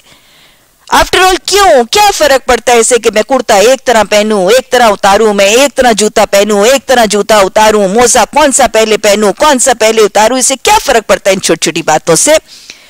बहुत फ़र्क पड़ता है। मैं आपको बताऊँ, सबसे पहली बात तो ये कि जब वो अमल सुन्नत रसूल सल्लल्लाहु अलैहि वसल्लम के मुताबिक होता है तो वो अमल नेकी बन जाता है, वो अमल सवाब का ज़रिया बन जाता है। इत्तबाय सुन्नत उस अमल को चार चाँद लगा देती। अरे दिन में, सारी रूटीन में हमने खाना भी है, पीना भी है, सोना भी है, जागना भी है ड्रेसअप भी होना है ड्रेस भी होना है, सब कुछ करना है, लेकिन अगर ये रूटीन में अपनी मर्ज़ी के मुताबिक हुआ तो सिर्फ़ काम होगा, सिर्फ़ एक्टिविटीज़ होंगी। लेकिन अगर ये काम नबी सल्लल्लाहु अलैहि वसल्लम की सुन्नत के मुताबिक होगा तो वो अजर और सवाब और नेकी के हसूल का ज़रिया बन जाएगा। ये ये सुन्नत का इत्तबा करने के साथ एक मोमिन की सारी ज़िंदगी सुबह से शाम तक उसके नेकी के हसूल का ज़रिया बन जाती है सबसे पहला अजर है। और फिर जब वो ज़िंदगी में यहाँ ये पता चल रहा है कि जब कोई अमल सुन्नत रसूल सल्लल्लाहु अलैहि वसल्लम के मुताबिक होता है तो फिर वो अल्लाह का महबूब बन जाता है, वो गुनाहों की बख्शिश का ज़रिया बन जाता है।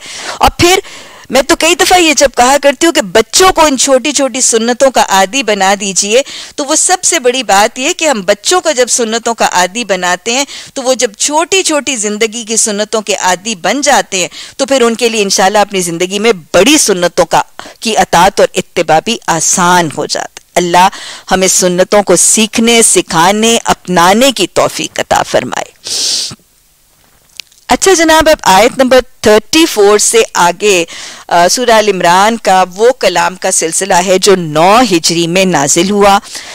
आठ हिजरी में फतेह मक्का, उसके बाद नौ हिजरी आमुल वफूद। वफद जौक दर जौक मदीना में इस्लाम की तहकीक और तस्दीक के लिए दाखिल हो रहे हैं। इनमें एक गरोह नौ हिजरी में नजरान की ईसाई रियासत से एक गरोह आता है। नजरान की रियासत ये ईसाइयों की रियासत थी। तकरीबन तिहत्तर, बहत्तर बड़ी बड़ी बस्तियों पर मुश्तमिल थी। बहुत बड़ी आबादी थी। एक लाख तो जंगजू मर्द थे इस बस्ती में। इन ईसाइयों के, नजरान के ईसाइयों में से उनके पादरियों का एक ग्रोह जो है वो नबी सल्लल्लाहु अलैहि वसल्लम के पास आया और उन्होंने रसूलुल्लाह सल्लल्लाहु अलैहि वसल्लम से ये सवाल किया कि आपका दीन और आपका जो कुरान है, वो हमारे नबी और हमारी नबी की वालदा के बारे में क्या कहता है? तो उनके सवालात के जवाब में ये सुराल इमरान की रकू नंबर चार से लेके छह तक ये रकू जो है वो नाजिल हुआ और हज़रत मरियम और हज़रत ईसा सलाम की जो हकीकत थी, वो अल्लाह सुबहाना तला ने उनको बयान की। अल्लाह ने आदम और नू और आले इब्राहिम और आले इमरान को तमाम दुनिया वालों पर तरजीह देकर चुन लिया। इन हस्तफा अल्लाह ने चुन लिया। तो यहाँ से आगे फिर चुने जाने वालों की दास्तान। चुने जाने वाले लोगों और घरानों और अफराद की दास्तान कि अल्लाह किन को चुनता है, क्यों चुनता है? वो क्या करते हैं, वो क्या खाते हैं, वो क्या मांगते हैं, उनके क्या रवैये होते हैं, उनके क्या अंदाज होते हैं कि अल्लाह ने उनको चुन लिया। अल्लाह हमें ये रवैये समझने और अपनाने की तोफ़ी कता फरमाए। अल्लाह हमें और हमारे अहल खाना को, दीन की अशात के लिए, दीन की तबलीग और खिदमत के लिए और अल्लाह अपनी रजा और अपनी जन्नत के लिए मुंतखब फरमा ले। अल्लाह ने फरमाया कि मैंने उनको मुंतखब किया था। ये एक सिलसिले के लोग थे जो एक दूसरे की नस्ल से पैदा हुए थे। अल्लाह सब कुछ सुनता और जानता था। यानी वो समी और बसी अलीम था। उसने बगैर वजह के नहीं चुना था। उस समी और अलीम ने क्या सुना और क्या जाना तो चुना? इस कौलत इमरात इमरान कि जब इमरान की एक औरत कह रही थी इमरातु इमरान से मुराद कौन है? हज़रत मरियम सलाम की वालदा को इमरातु इमरान कहा गया है। इसकी वजह क्या है?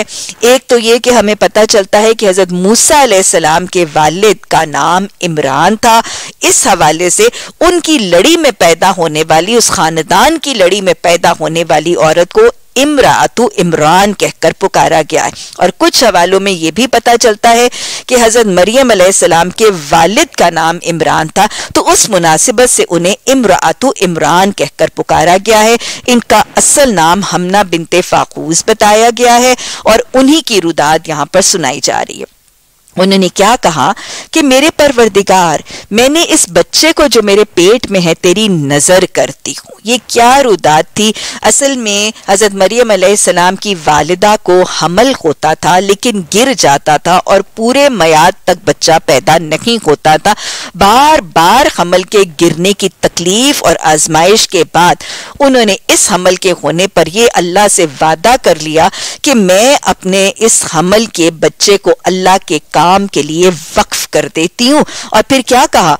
मुहर्रन मैं उसको आज़ाद कर देती हूँ। किस चीज़ के लिए आज़ाद कर देती हूँ? अपने काम, काज, अपनी, अपने घराने, अपनी बरादरी, अपने बस्ते और दुनियावी काम काज और जिम्मेदारियों से आज़ाद करके खालिसतन दीन के लिए वक्फ कर देती हूँ। फतकबल मिन्नी अल्लाह मुझसे कबूल कर ले। इन नकान तस्मीम गोया ये बात फिर दोहरा लीजिए कि नेकी सिर्फ़ करनी ज़रूरी नहीं है, नेकियाँ और भलाइयाँ करने के बाद उनकी कबूलियत की दुआ भी करनी है और उनकी कबूलियत की फ़िक्र भी करनी। अल्लाह सुबहाना तला ने इस खातून को और इनके नस्ल को और इनके घराने को क्यों चुना था? हमल होने के बाद उस बच्चे को दीन की अशात के लिए, दीन की खिदमत के लिए वक्फ कर देने का अमल वो अदा मेरे रब को इतनी पसंद आई थी कि अल्लाह ने नस्लों को चुन लिया था। अल्लाह हमें इसकी तोफीक अता फरमाए। तू सुनने और तू जानने वाला है। फिर जब वो बच्ची उसके यहाँ पैदा हुई तो उसने कहा, मालिक, मेरे यहाँ तो लड़की पैदा हो गई है। हालाँकि जो कुछ उसने जना था, अल्लाह को उसकी खबर थी। असल में ये जो मामला हुआ, इन्होंने पहले हज़रत मरियम सलाम की वालदा ने इरादा किया कि मेरा बच्चा होगा और उसको मैं दीन के लिए आज़ाद करूँगी और वक्त करूँगी दीन की दावत के लिए, तबलीग के लिए, खिदमत और अशाद के लिए। दिल में शायद ये ख्वाहिश थी कि बेटा होगा, उसको मुजाहिद और मुहाफिज इस्लाम बनाऊँगी, लेकिन जब बेटी हुई तो परेशानी ये हुई कि बेटी कमज़ोर भी होती है, नाजुक भी होती है, उसकी इसमत, उसकी आबरू की हिफाजत मुश्किल भी होती है। तो एक हल्का सा तरद कि बेटा बेटी की तरह तो नहीं होता। खैर, मैंने उसका नाम मरियम रख दिया। मरियम इब्रानी जबान का लफ्ज है और इसका मतलब है खिदमत गुजार। किसकी खिदमत गुजार? अल्लाह के दीन की खिदमत गुजार और अल्लाह के बंदों की खिदमत गुजार। गोया नाम का रखना ही इस बात की अलामत है कि उन्होंने अपनी बेटी को अल्लाह के दीन और अल्लाह के बंदों की खिदमत के लिए जो है वो पेश कर दिया। मोमिनों और मोमिनात की सिफात क्या है? चुने जाने वालों की सिफात ये है कि पहले अपनी महबूब चीज़ों को अल्लाह के लिए नज़र मानते हैं, पेश करते हैं, अल्लाह के यहाँ कबूलियत की दुआएँ करते हैं और फिर मोमिनों और अल्लाह के चुने जाने वाले बंदों की सिफात ये भी है कि वो क्या करते हैं? अपनी नज़रों को पूरा करते हैं। खैर, मैंने उसका नाम मरियम रख दिया और मैंने इसको और इसकी आइंदा नस्ल को शैतान मरदूद के फितने से तेरी पनाह में दिया आयत नंबर थर्टी सिक्स इसको भी अंडरलाइन कर लीजिए। व इन्नी और बिका वजुर्रियती मिन शैतान रजीम। ये वो दुआ है जो हज़रत मरियम सलाम की वालदा ने उनकी वलादत के वक्त मांगी थी कि मैं अपनी इस बेटी को इस वज़ाय हमल से पहले पैदा होने वाली और इनकी नस्लों को शैतान मरदूद से अल्लाह की पनाह में देती हूँ।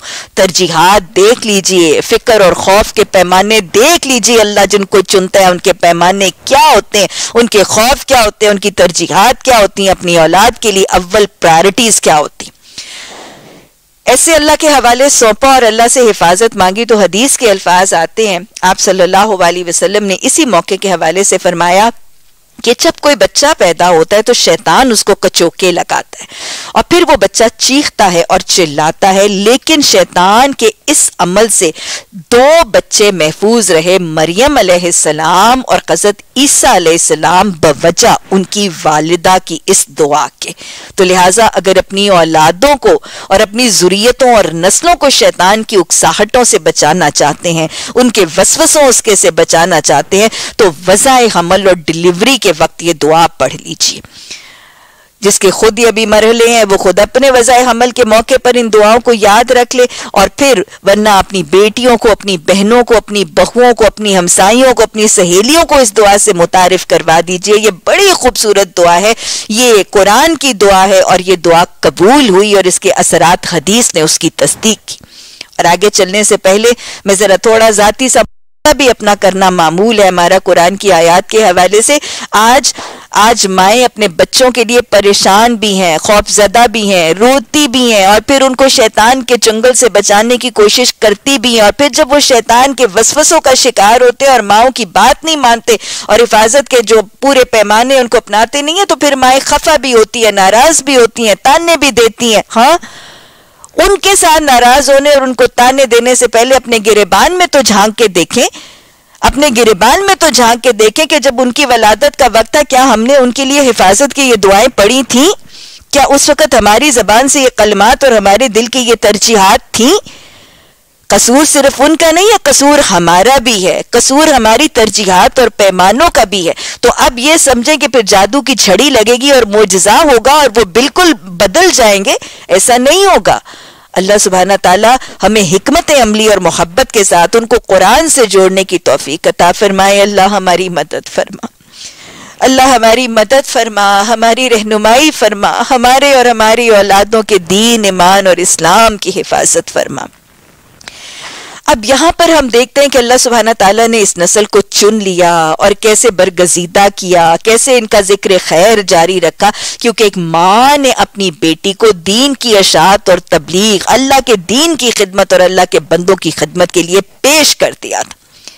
बहुत इंपॉर्टेंट और अहम पैगाम होगा आज मेरे और आप सबके लिए नायाद आज अगर हम देखते हैं तो हमारी खास तौर पे इंटेलिजेंशिया हमारा जो पढ़ा लिखा तबका है, वो अपनी बेटियों को इनफैक्ट सारा ही माशरा जो है, वो अपनी जवान बेटियों को कुरान की तालीम के साथ, कुरान के इदारों के साथ मंसूब करने और उनके साथ जोड़ने में कुछ खाइफ नज़र आते। आज कुरान की महफिलों में भी देख लीजिए, कुरान की क्लासेस में दौरे, कुरान में भी अगर देख लीजिए तो बुनियादी तौर पर हाजिरी और हाजरीन महफिल जो खातन होती है, वो थर्टी प्लस फोर्टी प्लस खातन है। यूथ बुनियादी तौर पर नज़र नहीं आती कोर्सेज में लोग अपनी बेटियों को जोड़ने से कुछ खाइफ नज़र आते और मैं आपको बताऊँ कि रिजर्वेशन बुनियादी तौर पर तीन है।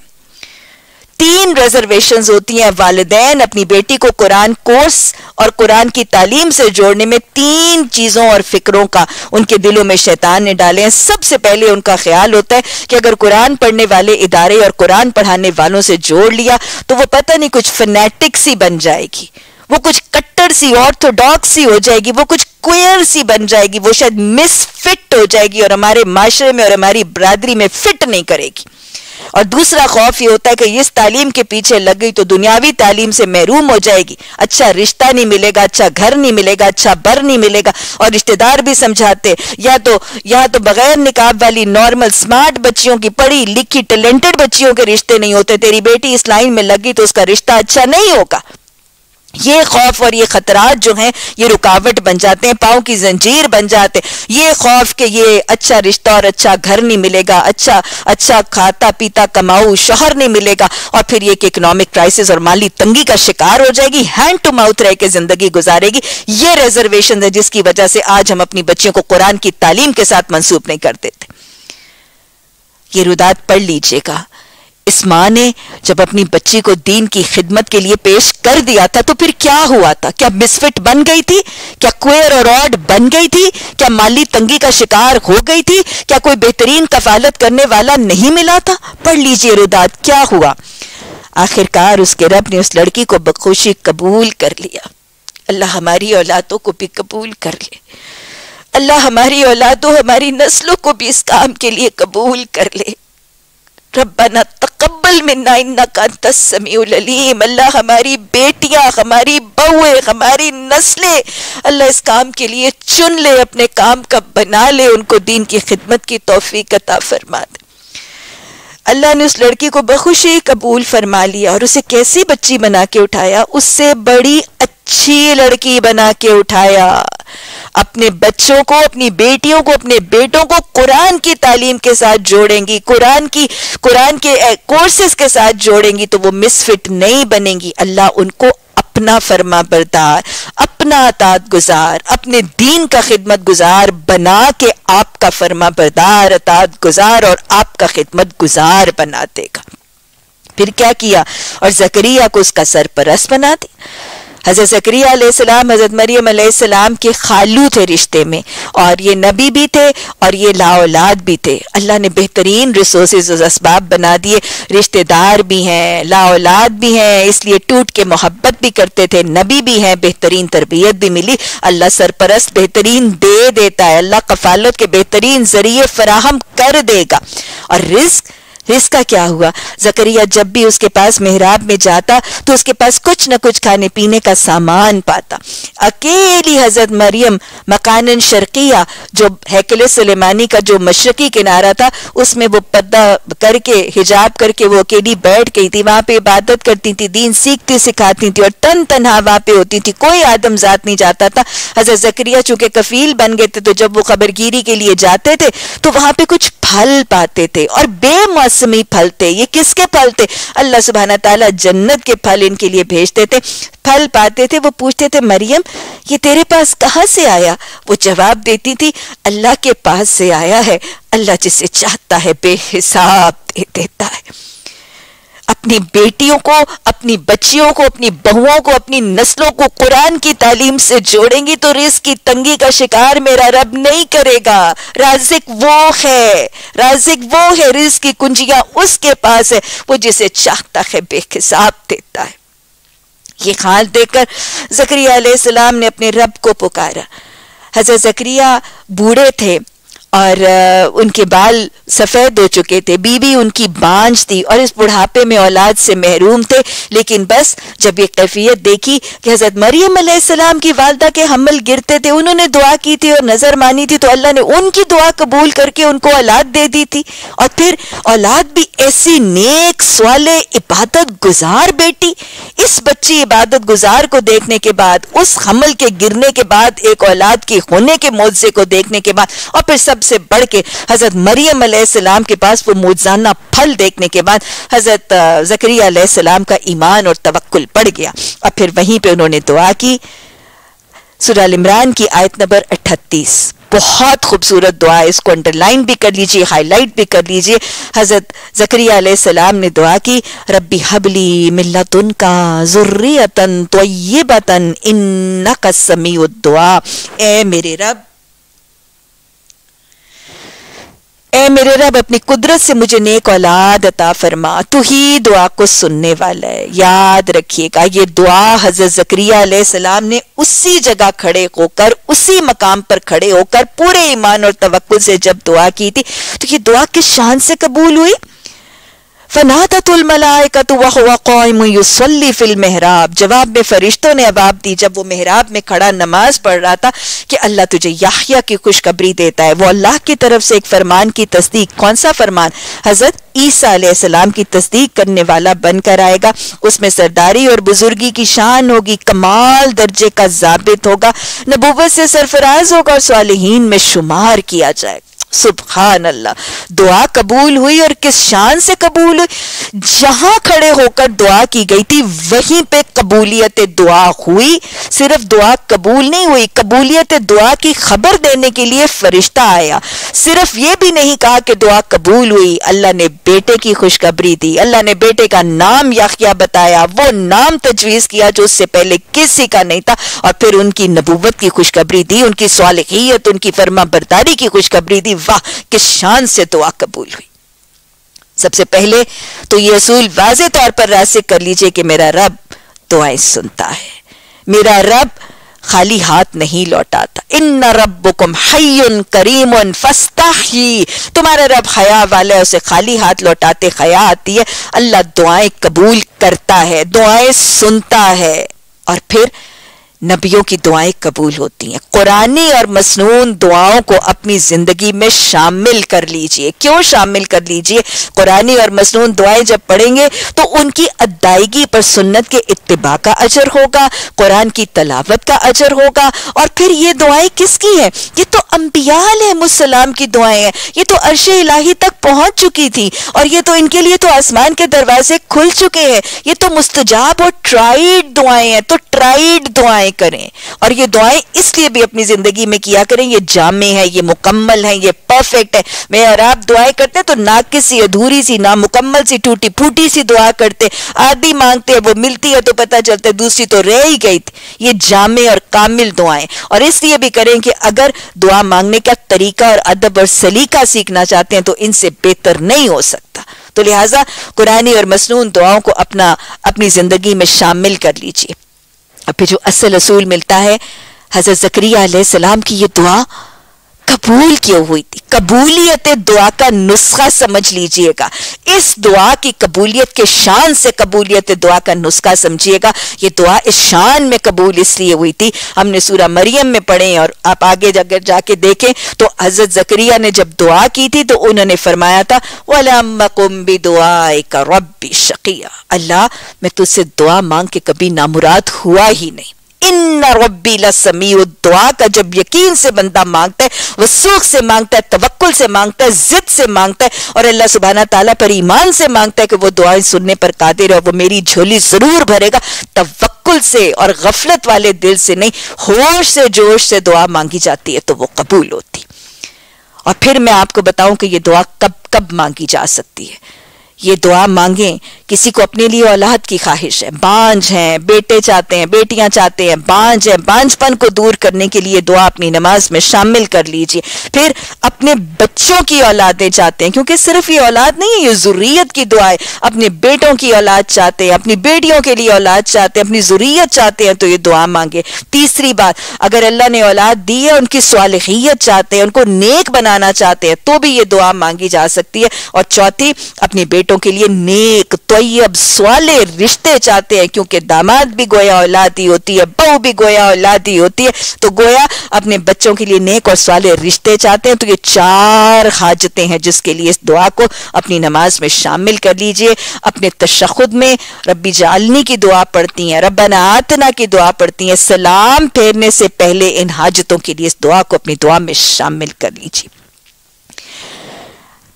हज़रत जकरिया सलाम ने इसके बाद जब ये खुशखबरी सुनी तो ईमान हमेशा एक जैसा तो नहीं रहता। जकरिया सलाम ने कहा, परवरदिगार भला मेरे यहाँ लड़का कहाँ से होगा? मैं तो बहुत बूढ़ा हो चुका हूँ, मेरी बीवी भी बांझे जवाब है, ऐसा ही होगा। अल्लाह जो चाहता है, करता है। अर्ज़ किया, मालिक, फिर कोई निशानी मेरे लिए मुकर कर दे। कहा, निशानी ये कि तुम तीन दिन लोगों के साथ बात नहीं करोगे या कर सकोगे। इस दौरान में अपने रब को बहुत याद करना सुबह शाम इसकी तस्वीर करते रहे तो यह जो निशानी हज़रत जकरिया सलाम के लिए उस बच्चे के होने और वलादत के लिए बनाई गई वो एक मतलब तो ये था कि अल्लाह सुबहाना ताला के हुक्म से जबाबंदी हो जाएगी। और अल्लाह ने फरमाया कि जब जुबाबंदी हो जाए, उस वक़्त भी खुद इशारे से अपनी कौम को भी कहना और ख़ुद भी अल्लाह की तस्बी करना, गोया नेमतों के मिलने पर क्या करना है? का फिर कसरत से अल्लाह की तस्बी करना नेमत का शुक्र करने का तरीका है। और दूसरी बात यह कि जब अल्लाह ने फरमाया कि क्या है कि तुम्हारी जब इस नेमत तुम्हें मिलेगी और हमल जब होगा तो फिर उसमें क्या करना? खामोश रहना और चुप का रोजा रखना। गोया नेमतों के अमली शुक्र का तरीका क्या है कि किसी न किसी शक्ल में इबादत करके अल्लाह की अमली शुक्र उस नेमत का किया जाए। रबी आईनी अला ज़िक्र का व शुक्र का व हुसन इबादत हाजी चौथा रकू मुकम्मल हुआ। अब हम पांचवा रकू जो है वो करते हैं। सुरल इमरान के पाँचवें रकूम में हज़रत मरियम सलाम की रुदाद आगे शुरू होती है। आयत नंबर 42 में अल्लाह फरमाते हैं, फिर वो वक्त आया जब मरियम सलाम से फरिश्तों ने आकर कहा, ए मरियम, अल्लाह ने तुझे चुन लिया। इन हस्तफा की अल्लाह ने तुझे चुन लिया और चुन के क्या किया? वो तो हर की और तुझे पाकिजा कर दिया। वस्तफाकी अला निसाइल आलमीन, और तुझे तमाम दुनिया की औरतों पर तरजीह दे दी। ये जो कहा जा रहा है कि तमाम कामिल औरतें चार हैं और ये कामिल औरतों के नाम आप सल्लल्लाहु अलैहि वसल्लम ने फरमाए।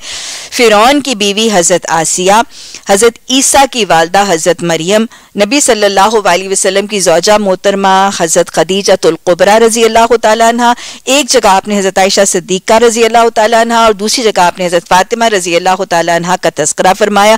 गोया अल्लाह ने चुन के उन पाँच या चार कामिल खवतिन की सफ में हज़रत मरियम को शामिल कर दिया।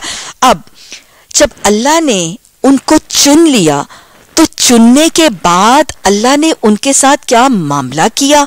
उनको क्या हुक्म दिया? इसमें बहुत इंपॉर्टेंट पैगाम है चुनी जाने वाली खातन के लिए।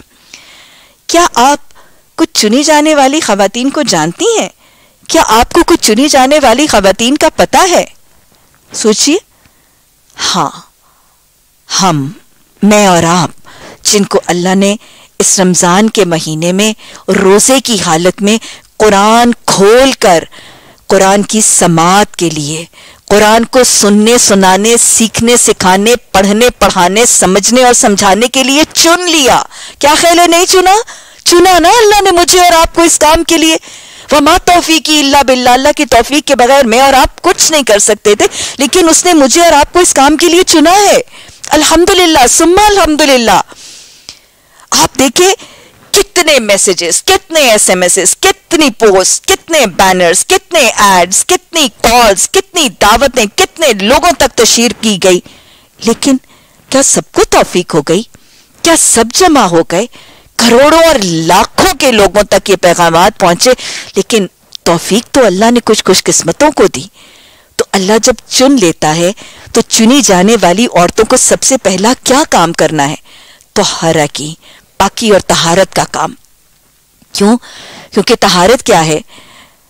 अतहूर शतर और ईमान तहारत निसफ ईमान है।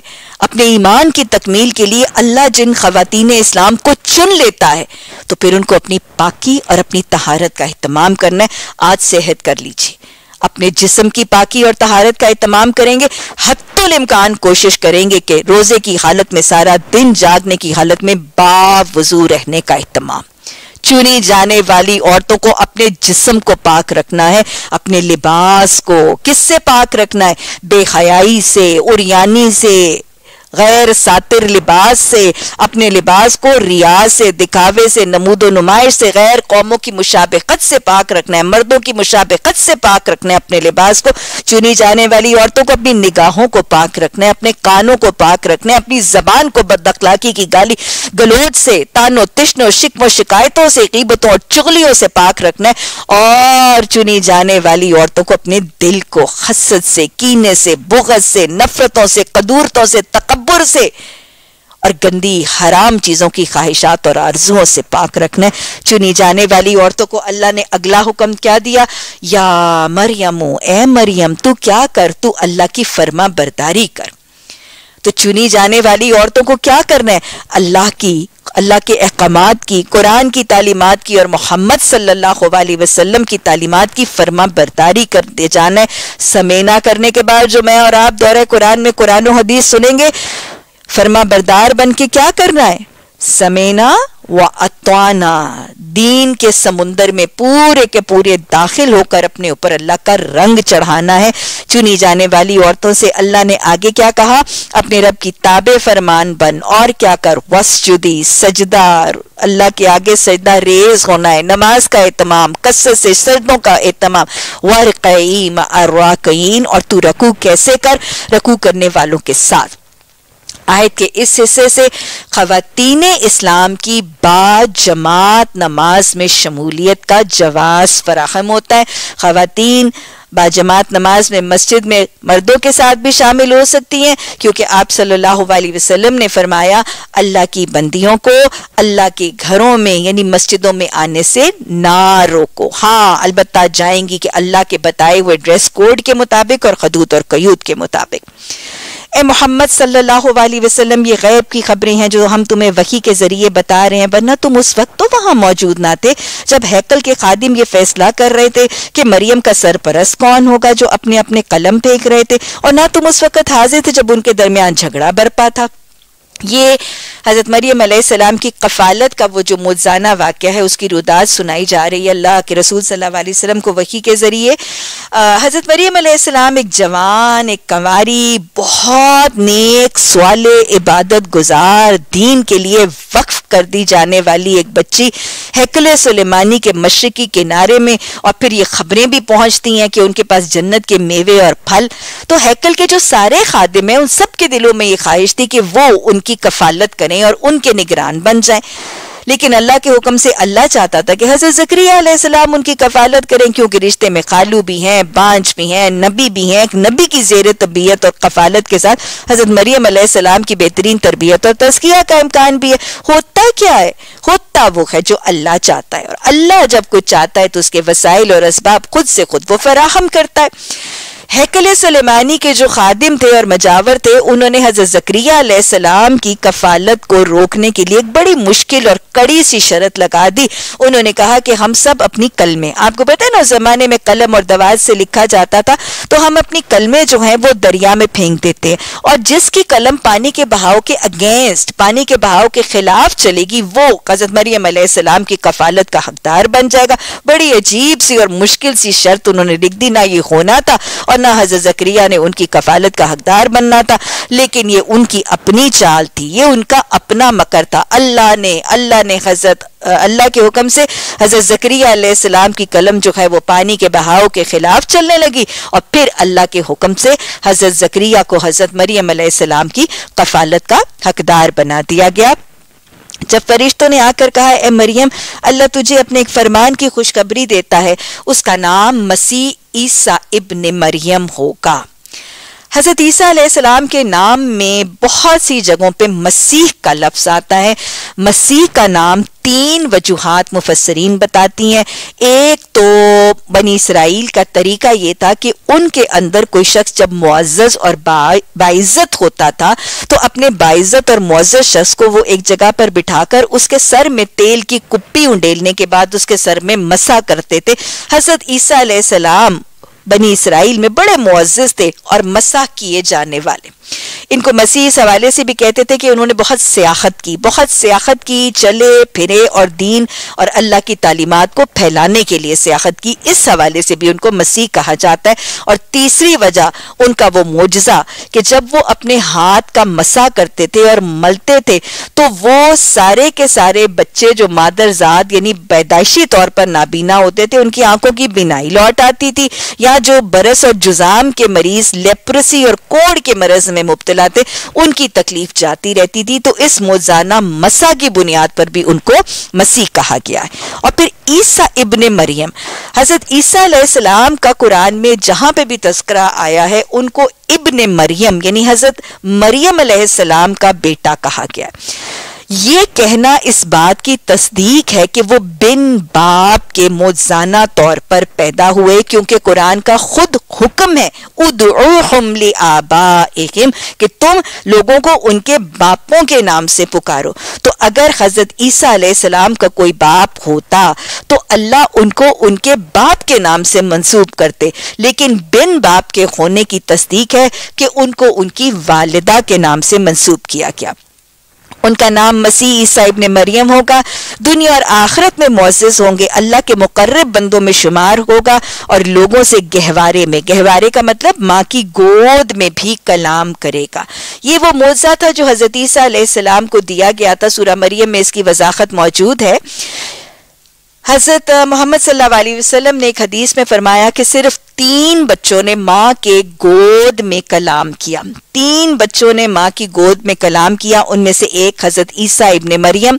हमें पता है कि जब हज़रत मरियम को एक कमारी बच्ची को हमल के बाद बच्चा पैदा हुआ तो अल्लाह सुबहाना ताला ने हज़रत मरियम सलाम से ये कह दिया था कि तुमने लोगों को अगर किसी को देखोगी तो क्या कहना है? कि तुमने कह देना है कि मैंने अल्लाह के लिए रोज़े की नज़र मानी और तुमने बात नहीं करनी और खामोश रहना हज़रत मरियम सलाम जब बच्चे को लेकर अपनी बस्ती में गई तो बरादरी वालों ने वो इल्ज़ाम की, वो छाड़ की तो उन्होंने बच्चे की तरफ़ इशारा किया। लोगों ने कहा कि हम बच्चे के साथ क्या बात करें? तो कुरान में अल्लाह सुरा मरियम में फरमाते हैं कि, बच्चा बोल उठा। इन्नी अब्दुल्ला व कि मैं अल्लाह का बंदा हूँ और मैं अल्लाह का रसूल हूँ। तो हज़रत मरियम सलाम के बेटे ने उनकी पाक दामनी और अपनी मोजाना वलादत की गवाही दी थी माँ की गोद में होकर। ये हज़रत ईसा सलाम का रुदाद फिर उसके बाद हमें पता चलता है कि आप सल्लल्लाहु अलैहि वसल्लम ने बताया कि एक माँ अपने दूध पीते बच्चे को, शीरखार बच्चे को अपनी गोद में दूध पिला रही थी कि उसके सामने से एक बड़ा खूबसूरत और नौजवान सा शख्स मुतकबिर और जालिम और जाबिर अतराता हुआ अपने आला अरबी नस्ल के घोड़े पर अतराता हुआ जब गुजरा तो उसकी माँ ने उसको देख कर कहा, इलाही मेरे बच्चे को ऐसा कर दीजिए कई दफ़ा माए होती है ना बड़ी सी गाड़ी में जाने वाले को देखती है कभी मेरे बेटे के पास भी ऐसी गाड़ी हो ना? तो बस वही ख्वाहिश है, इलाही मेरे बेटे को ऐसा कर दीजिए हदीस में आता है कि उस बच्चे ने माँ का दूध छोड़ा और उसने कहा कि, इलाही, मुझे ऐसा ना कीजिए फिर उसके बाद उस माँ के सामने एक गुलाम, जिसको लोग मार रहे थे और पीट रहे थे, मजलूम था, मजबूर था बेचारा।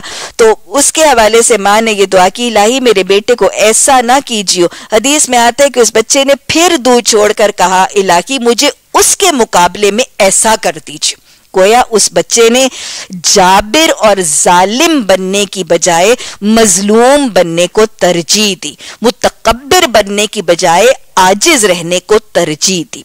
इसी तरह तीसरा बच्चा जो माँ की गोद में बोला, उसका वाक्य हदीस में, सही हदीस में आता है, वो जुरैज के हवाले से कि जुरैज जो है, वो बनी इसराइल का एक बहुत ही इबादत गुजार सा शख्स था, उसका एक इबादत खाना था, उसमें वो इबादत करता था।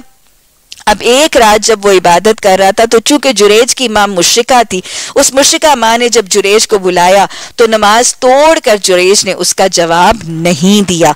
इस पर वो मुशिका माँ अपने बेटे से नाराज़ हुई और उसने बेटे को बद दी कि तेरा माथा किसी बदकार औरत के साथ लगे हमें पता चलता है कि जो माशरे की सबसे ज़्यादा फाहिशा बदकार औरत थी, वो कुछ दिनों के बाद जुरेज के पास आई और उसने बदकारी और जिना की दावत दी, जिस पर वो जो हदीस में आता है ना कि जो सात खुश नसीब लोग अल्लाह के अर्श के साय में होंगे, उनमें से एक शख्स कौन सा होगा जिसको एक मालदार, खूबसूरत औरत ने बदकारी की दावत दी और उसने कहा, मुझे अल्लाह रब्बुल आलमीन से डर लगता है। तो ये मुत्तकी परहेजगार बाखयाल शख्स जो है, ये जुरेज ने कहा, वही जवाब दिया और उसने उसके साथ बदकारी का इनकार कर दिया। ये औरत बहुत जो है वो खफा भी हुई और नाराज़ भी हुई, किसी चरवाहे के साथ उसने ताल्लुक कायम किया, उसको हमल हुआ और जब औलाद हुई उसके पास, उसका बच्चा हुआ तो उसने उस बच्चे को जुरेज के साथ बदकारी के अंजाम से मंसूब कर दिया।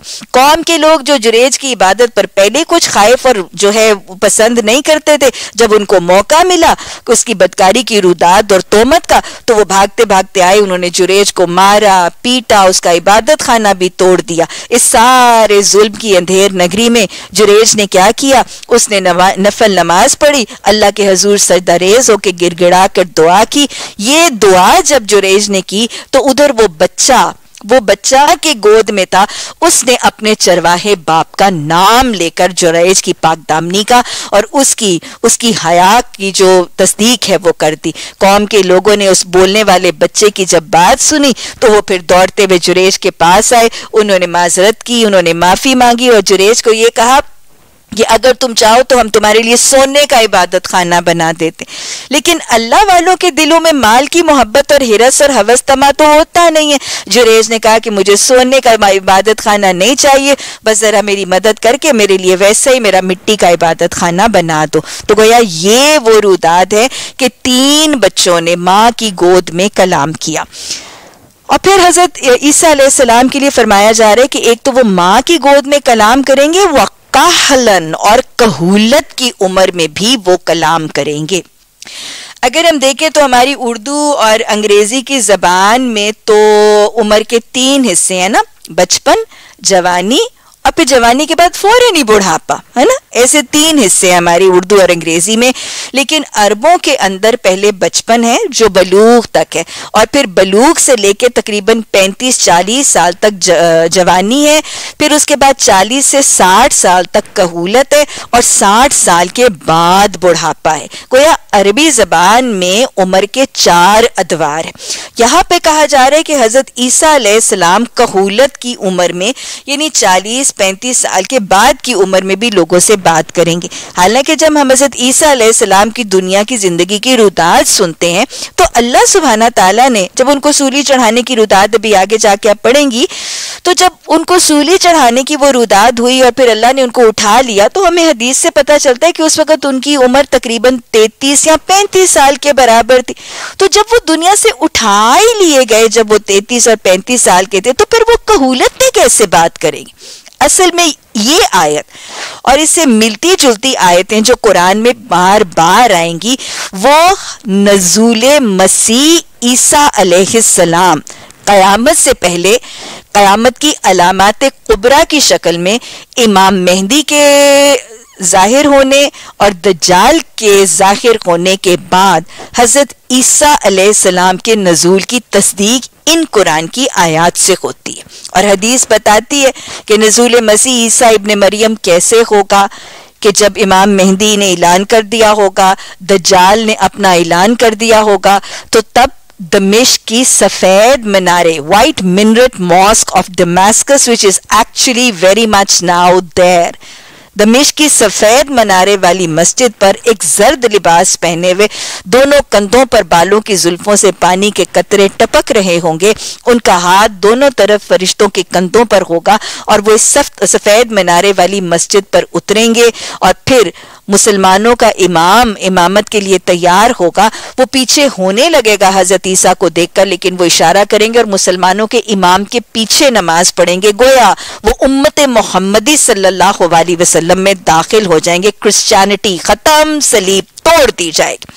और फिर उसके साथ इमाम मेहंदी के बाद इसके सारी नमाज़ की अदायगी के बाद हज़रत ईसा इमाम मेहंदी के साथ मिलकर दज्जाल का ताकुब करेंगे, उसे परस्यू करेंगे, मकाम लुद में उसको खलाक करेंगे, जहाँ पे आज इसराइल की एयरपोर्ट जो है, वो लिटिया एयरपोर्ट मौजूद है, और फिर उसकी खून में डूबी हुई तलवार जो है, वो उम्मत के लोगों को दिखाएँगे, और फिर एक एक दरख्त के पीछे जो यहूदी छुपा होगा, वो दरख्त उसका नाम, उसका पता देगा, और यहूदियों को कत्ल कर दिया जाएगा और खलाक कर दिया जाएगा। ईसाइत भी खत्म हो जाएगी यहूदियत भी खत्म हो जाएगी और उसके बाद फिर उनका निकाह होगा, फिर याजूज और माजूज का फितना होगा, फिर वो खत्म होंगे, फिर इनका निकाह और औलाद और फिर उनकी वफात। तो ये वो सारी रुदाद है जिसका तस्वुर इस कुरान की आयत और इससे मिलती जुलती आयात से अखज होता है। वो गहवारे में भी बात करेंगे और कहूलत में भी। और वो एक मर्द सवाले होगा। ये सुनकर मरियम सलाम बोली, मेरे यहाँ बच्चा कहाँ से होगा? मुझे तो किसी शख्स ने हाथ भी नहीं लगाया। जवाब मिला ऐसा ही होगा। अल्लाह जो चाहता है पैदा करता है और जब वो किसी काम के करने का फैसला फरमाता है ना तो क्या कहता है? कौन? वो कहता है, हो जा, फयकून. बस वो हो जाता है। फरिश्तों ने फिर अपने सिलसिला कलाम में कहा, और अल्लाह उसे किताब और हमत की तालीम देगा, तोरात और इंजील का इल्म सिखाएगा और बनी इसराइल की तरफ़ अपना रसूल मुकर करेगा। हज़रत ईसा सलाम को अल्लाह सुबहाना ताला के हुक्म से तौरात का भी हाफिज बनाया गया था। और यहूदी जब हज़रत ईसा की नबूवत के दावे पर ईमान नहीं लाते थे और एतराज़ात करते थे तो हज़रत ईसा सलाम चौराहों में खड़े होकर यहूद के उलमा को तौरात की आयात अपने हिफ से सुनाकर उनको, उनकी एतराज़ात का जवाब देते थे। अच्छा वो बहसीत रसूल बनी इसराइल के पास आया तो उसने कहा, मैं तुम्हारे रब की तरफ़ से तुम्हारे पास निशानी लेकर आया हूँ और मैं तुम्हारे सामने मिट्टी के परिंदे की सूरत, अब ये वो मोजात हैं जो हज़रत ईसा सलाम को दिए गए थे। परिंदे की मिट्टी से परिंदे की सूरत का एक मुजस्मा बनाता हूँ, उसमें फूंक मारता हूँ, वो अल्लाह के हुक्म से परिंदा बन जाता है। याद रखिएगा, नबियों को जितने भी मुजात दिए गए उसमें उनका अपना कोई रोल और कोई अमल और दारो मदार नहीं था। ये सब मुजात बे थे। मैं अल्लाह के हुक्म से मादरजात अंधे, यानी बाय बर्थ जो ब्लाइंड बच्चे कंजेनिटली ब्लाइंड बच्चों की आँखें, इनके हाथ के मसा से ठीक हो जाती थी, बिनाई आ जाती थी। कोड़ी को अच्छा करता हूँ और मुर्दे को ज़िंदा करता हूँ। मैं तुम्हें बताता हूँ, तुम क्या खाते हो और अपने घरों में जखीरा करके रखते हो? इसमें तुम्हारे लिए काफ़ी निशानी अगर तुम ईमान लाने वाले हो।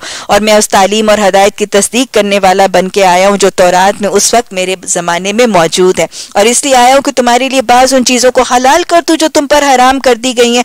देखो, मैं तुम्हारे रब की तरफ़ से तुम्हारे पास निशानी लेकर आया हूँ। लिहाजा अल्लाह से डरो, मेरी अतात करो। अल्लाह मेरा भी रब है और तुम्हारा भी रब। लिहाजा तुम उसी की बंदगी इख्तियार करो, यही सीधा रास्ता है। वो जो ईसाइयों ने हज़रत ईसा को इलाह बना दिया था और अल्लाह का बेटा ईसा इब्नुल्लाह बना दिया था, ये आयात तमाम उनके गलत अकायद और तस्वुरात की नफी कर रहे जब ईसा ने महसूस किया कि बनी इसराइल कुफर और इनकार पर आमादा है यानी तवील दावत के बावजूद जब लोग इस्लाम ही नहीं कबूल कर रहे थे और अल्लाह की तोहहीद को मान ही नहीं रहे थे तो फिर हज़रत ईसा ने ऐलान किया। क्या कहा? मन अंसौरी अल्लाह अल्लाह के दीन की दावत में, तबलीग में इशात में, निफाज में, हिफाजत में है कोई बस्ती वालों? तुम में से जो मेरा मददगार हो। कौल हवारियूना हवारियों ने जवाब दिया उन्होंने रिस्पॉन्ड किया हवारी का मतलब एक तो मददगार और मुआविन और हेल्पर्स है और हवारी का दूसरा मतलब हाव और रा से है, इसका मतलब है सफ़ेद। तो बाय प्रोफेशन ये कुछ धोबियों की नस्ल के लोग थे और ये बीस लोग थे जिन्होंने हज़रत ईसा सलाम की जो पुकार थी, मन अंसारी लल्लाह that is there going to be any helper who help me in the तबलीग ऑफ़ इस्लाम तो ये हवारियों ने रिस्पॉन्ड किया था, ये बीस तकरीबन लोग थे। इन्होंने क्या कहा था?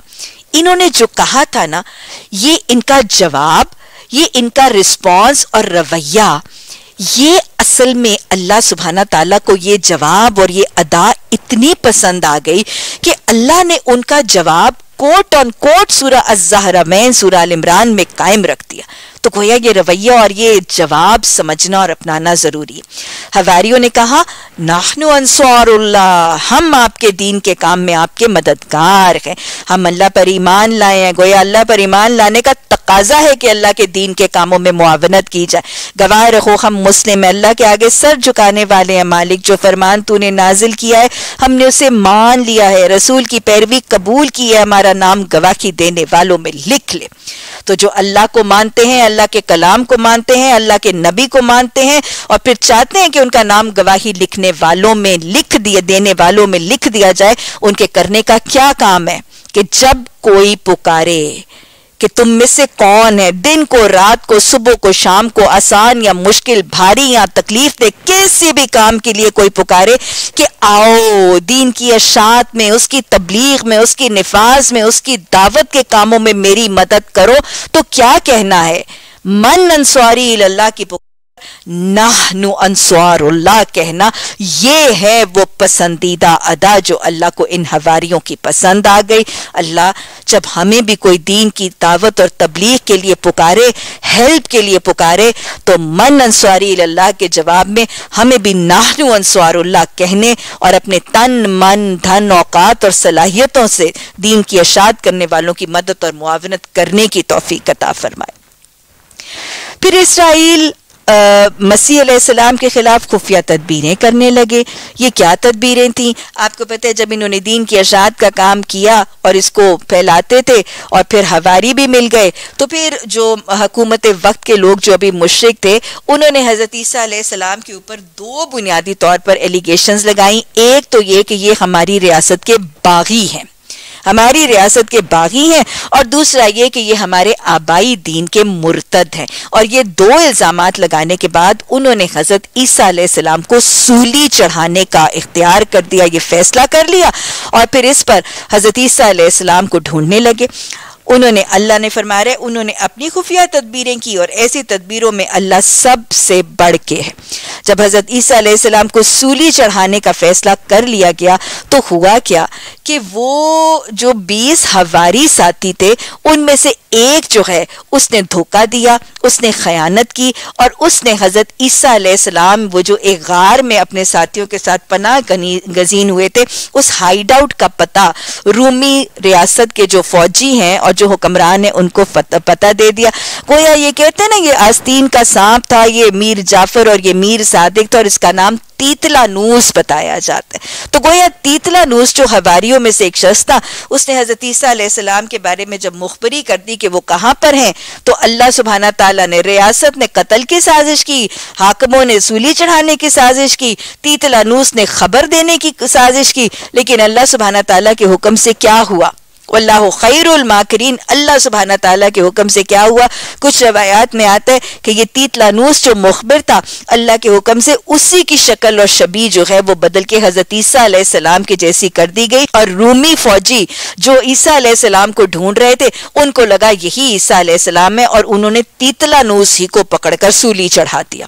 और कुछ रवायात में आते कि रूमी फौज में से एक शख्स जो हज़रत ईसा सलाम की बहुत ज़्यादा गुस्ताखी और अहानत किया करता था, उसकी शक्ल अल्लाह के हुक्म से बदल के हज़रत ईसा की जैसी की गई थी और रूमी लश्कर ने उस ही को पकड़कर सूली चढ़ा दिया। लिहाजा कोई शख्स चूँकि सूली चढ़ाया गया था, इसलिए ईसाइयों का कॉन्सेप्ट है कि हज़रत ईसा ही को सूली चढ़ा दिया गया था। अल्लाह के हुक्म से हज़रत ईसा को सूली नहीं चढ़ाया गया था। क्या हुआ? अल्लाह खुफिया तदबीर क्या की? अल्लाह ने कहा, ए ईसा, अब मैं तुझे वापस ले लूँगा और मैं तुझे अपनी तरफ़ उठा लूँगा। और जिन्होंने तेरा इनकार किया, किन्होंने यहूद ने उनसे, उनकी मैयत से और उनके गंदे माहौल से और उनके साथ रहने से तुझे पाक कर दूँगा और तेरी पैरवी करने वालों को कयामत तक उन लोगों पर बाला दस्त रखूँगा जिन्होंने तेरा इनकार किया। और वाकई, आज अगर हम देखें तो क्रिश्चियन वर्ल्ड बहरहाल ज्यू लॉबी के ऊपर डोमिनेंट है। उनको कंट्रोल भी करता है और उनको मॉनिटर भी करता है और उनके साथ अपनी मर्ज़ी के काम भी करवाता फिर तुम सबको आखिरकार मेरे पास ही आना है। उस वक्त मैं उन सब बातों का फैसला कर दूँगा जिनमें तुम्हारे दरमियान इख्तिलाफ हुआ है।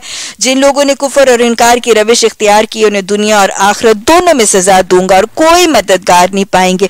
और जिन्होंने ईमान और नेक अमली का रवैया इख्तियार किया, उनके अजर उन्हें पूरे पूरे दिए जाएँगे। खूब जान लो कि जालिमों से अल्लाह हरगिज मोहब्बत नहीं करता।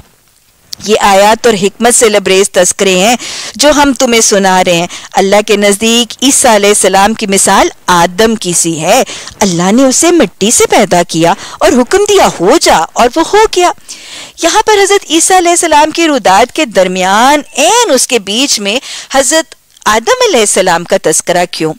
ईसाइयों को जो उन्होंने शिरक करके हज़रत ईसा को उनकी मोजाना बिन बाप के वलादत की बुनियाद पर ईसा इबनुल्लाह के दर्जे तक पहुँचाया। यही वजह थी ना, हज़रत ईसा बिन बाप के पैदा हुए, उनकी मोजाना वलादत की बुनियाद पर उन्होंने उनको ईसा इबनुल्लाह बना दिया। तो उनको झंझोड़ के समझाया जा रहा है, देखो हज़रत ईसा तो सिर्फ़ बिन बाप के पैदा हुए थे, हज़रत आदम तो बिन माँ और बिन बाप दोनों के पैदा हुए थे तो उनके साथ उलूहियत का मामला क्यों और कैसे मुमकिन ना हुआ? गोया उनकी गलत रवि को समझाने के लिए एक बड़ी पुरजोर लॉजिकल बात समझाएगी ये असल हकीकत है जो तुम्हारे रब की तरफ़ से बताई जा रही है और तुम उन लोगों में शामिल ना हो जाओ जो इसमें शक करते हैं। ये इल्म आ जाने के बाद अब जो कोई इस मामले में तुमसे झगड़ा करेगा? असल में ये कब हुआ कि जब नबी सल्लल्लाहु अलैहि वसल्लम के आ, से सवाल हुआ नौ हिजरी में निजरान का ग्रोह आया और निजरान के ग्रोह ने नबी सल्लल्लाहु अलैहि वसल्लम से सवाल की और पूछा, हज़रत ईसा और हज़रत मरियम के बारे में तो ये सारी आयात जारी कर दी गई और यही हकीकत थी और यही सही अकायद और सही वाकयात थे। तो उसके बावजूद वो जिद और डिटाई और तकबर के साथ वो तमाम तालीमत को मानने का इनकार कर रहे थे। अब जब वो मान नहीं रहे थे तो निजरान के ईसाइयों को कायल करने और मायल करने के लिए फिर अल्लाह ने मुबाहले का तरीका बताया। मुबाहिला असल में उस हालत को और उस तरीके को कहते हैं जब दो ग्रोहों या अफराद या इंडिविजुअल्स के दरमियान कोई डिफरेंस ऑफ़ ओपिनियन होती है और दोनों ग्रोह और अफराद जो हैं वो दूसरे की राय पर कायल होने को तैयार नहीं होते। ज़ाहिर है उनमें से एक हक पर और एक दुरुस्त होता है और दूसरा गलत होता है, लेकिन दोनों ही सरेंडर करने और दोनों ही गिव इन करने को तैयार नहीं होते और स्टबनली दोनों जमे होते हैं तो उसको सेटल करने के लिए मुबाहिले का तरीका। ये नबी सल्लल्लाहु अलैहि वसल्लम को सजेस्ट किया गया कि उनसे कहो, आओ, हम और तुम खुद भी आ जाएँ और अपने अपने बाल बच्चों को भी ले आए और खुदा से दुआ करें कि जो झूठा है उस पर खुदा की लानत। ये बिल्कुल सही वाक्यात हैं। गोया नबी सल्लल्लाहु अलैहि वसल्लम को और निजरान के लोगों को फिर अल्लाह ने कहा कि अगर वो तुम्हारी बात नहीं मानते तो उन्हें कहो कि फिर मुबाहिला कर लें, वो भी आ जाएँ और खुले मैदान में आके ये एलानिया कह दें कि जो झूठा है फिर उस पर लानत। अब अल्लाह ने जब मुबाहले का हुक्म दिया तो नबी सल्लल्लाहु अलैहि वसल्लम तो कोई अल्लाह का ऐसा हुक्म नहीं था जिसकी आप इतात नहीं करते थे। आप सल्लल्लाहु अलैहि वसल्लम तो मुकर्रा वक्त पर हज़रत अली, हज़रत फातिमा और उनके बच्चों को लेकर आप उस जगह पे पहुँच गए। और हदीस में आता है कि आपने इन इन सबको अपने हाथ में, अपने बाजू के दायरे में ले लिया और आपने अल्लाह सुबहाना तला से आसमान की तरफ़ देख कर आपने मुखातिब होकर फरमाया अल्लाह महाजा आहली कि अल्लाह तूने कहा था कि मैं अपने अहलो अयाल को ले आऊँ तो ये मेरे अहलो अयाल है। कोई आगे चलने से पहले दो बातें ज़रूर समझाऊँगी। नबी मेहरबा सल्लल्लाहु अलैहि वसल्लम के नज़दीक उनकी बेटी और उनके बच्चे, उनके अहले खाना थे। ये नफी है आज मेरे माशे के उस हिंदुआना तरीके की। हम समझते हैं कि सिर्फ़ हमारा बेटा और हमारे बेटे के बच्चे हमारे अहल खाना है और उनसे हमारा खानदान और उनसे हमारी लड़ी और हमारी नस्ल चलती है और हम बेटियों को गोया बिल्कुल पराए घराने की बना देते हैं। नहीं, ये हिंदुआना तस्वुरात हैं। हमारे नबी सल्लल्लाहु अलैहि वसल्लम ने अपनी बेटी, अपने दामाद और उनके बच्चों को कहा अल्लाह हाजा आखली, ये मेरे अहलो अयाल है। और फिर इसके हवाले से एक छोटा सा फरोई इख्तलाफ जो है, मैं उसको भी यहाँ सेटल करती जाऊँ। हदीस का जो ये वाक़ है, इसमें आपका हज़रत अली और उनके अहल खाना को अपना अहल अपना अहल खाना कहना हमारा एक फ़िरका और एक गरोह जो है, वो ये कहता है कि सिर्फ़ हज़रत फ़ातिमा और हज़रत अली रज़ी अल्लाह तन अहल बैत है। इसमें कोई शक नहीं कि सही हदीस के हवाले से फातमा, हज़रत अली रज़ी अल्लाह तहले बैत हैं। लेकिन सिर्फ़ वो अहले बैत नहीं है, क्योंकि कुरान आगे जाके मैं आपको हवाला दूँगा, दूँगी कि अल्लाह सुबहाना तला उम्महातुल मोमिन को भी अहले बैत कहकर पुकारते हैं। तो गोया कुरान की रूह से उम्महातुल मोमिनीन अहले बैत हैं। और हदीस के सही वाक़े की रूह से हज़रत अली और उनके अहले खाना वो अहले बैत हैं। दोनों अहले बैत हैं। इस चीज़ के ऊपर अलग अलग फ़िरके और ग्रोह बनाकर धड़े बनाकर उम्मत मुस्लिमा की तरक्कीों और उनकी ताकतों को कमज़ोर करने के लिए अल्लाह सुबहाना ताला हमें इस फ़िरका वारियत की आग को बुझाने की तोफ़ी अता फरमाए। रसूल अलैहि तो हाजिर हो गए। आप अपने अहल खाना को भी ले आए। लेकिन निजरान के ईसाई लोग जो नबी सल्लल्लाहु अलैहि वसल्लम की नबूवत की हक्कानियत को पहचान चुके थे, वो अब इस बात से डरते थे कि अगर रसूल सल्लल्लाहु अलैहि वसल्लम ने अपनी जबान से ये कह दिया कि झूठों पर लानत है तो हम तो झूठे हैं। हम तो झूठे हैं।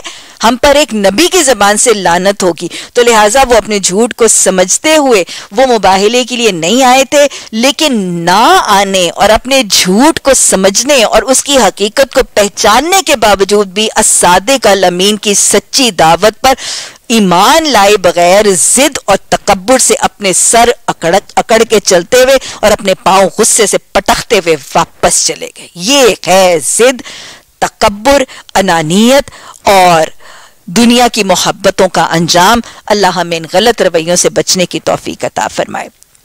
कहो, ए अहले किताब, अब जब वो चले गए तो अल्लाह ने अहले किताब को दावत का हकीमाना अंदाज सिखा दिया। इनसे कहो, ए अहले किताब, आओ आओ एक ऐसी बात की तरफ़ जो हमारे और तुम्हारे दरमियान यकसा है। क्या यकसा है कि हम भी अल्लाह के सिवाय किसी की बंदगी ना करें, उसके साथ किसी को शरीक ना ठहराएँ और हम में से कोई अल्लाह के सिवा किसी को अपना रब ना बना ले। इस दावत को कबूल करने से अगर वो मुँह मोड़े तो साफ़ कह दो, गवाह रहो, हम तो मुस्लिम है, सिर्फ़ खुदा की बंदगी और अतात करने वाले। गोया, आप यहाँ पे ये देख लीजिए कि अल्लाह सुबहाना ताला अब अहले किताब को दावत का तरीका सिखा रहा है कि जब दावत देनी है किसी को भी तो बड़ी हिकमत से और बड़ी खैर खाही से डिफ्रेंसेस को हाईलाइट किए बगैर।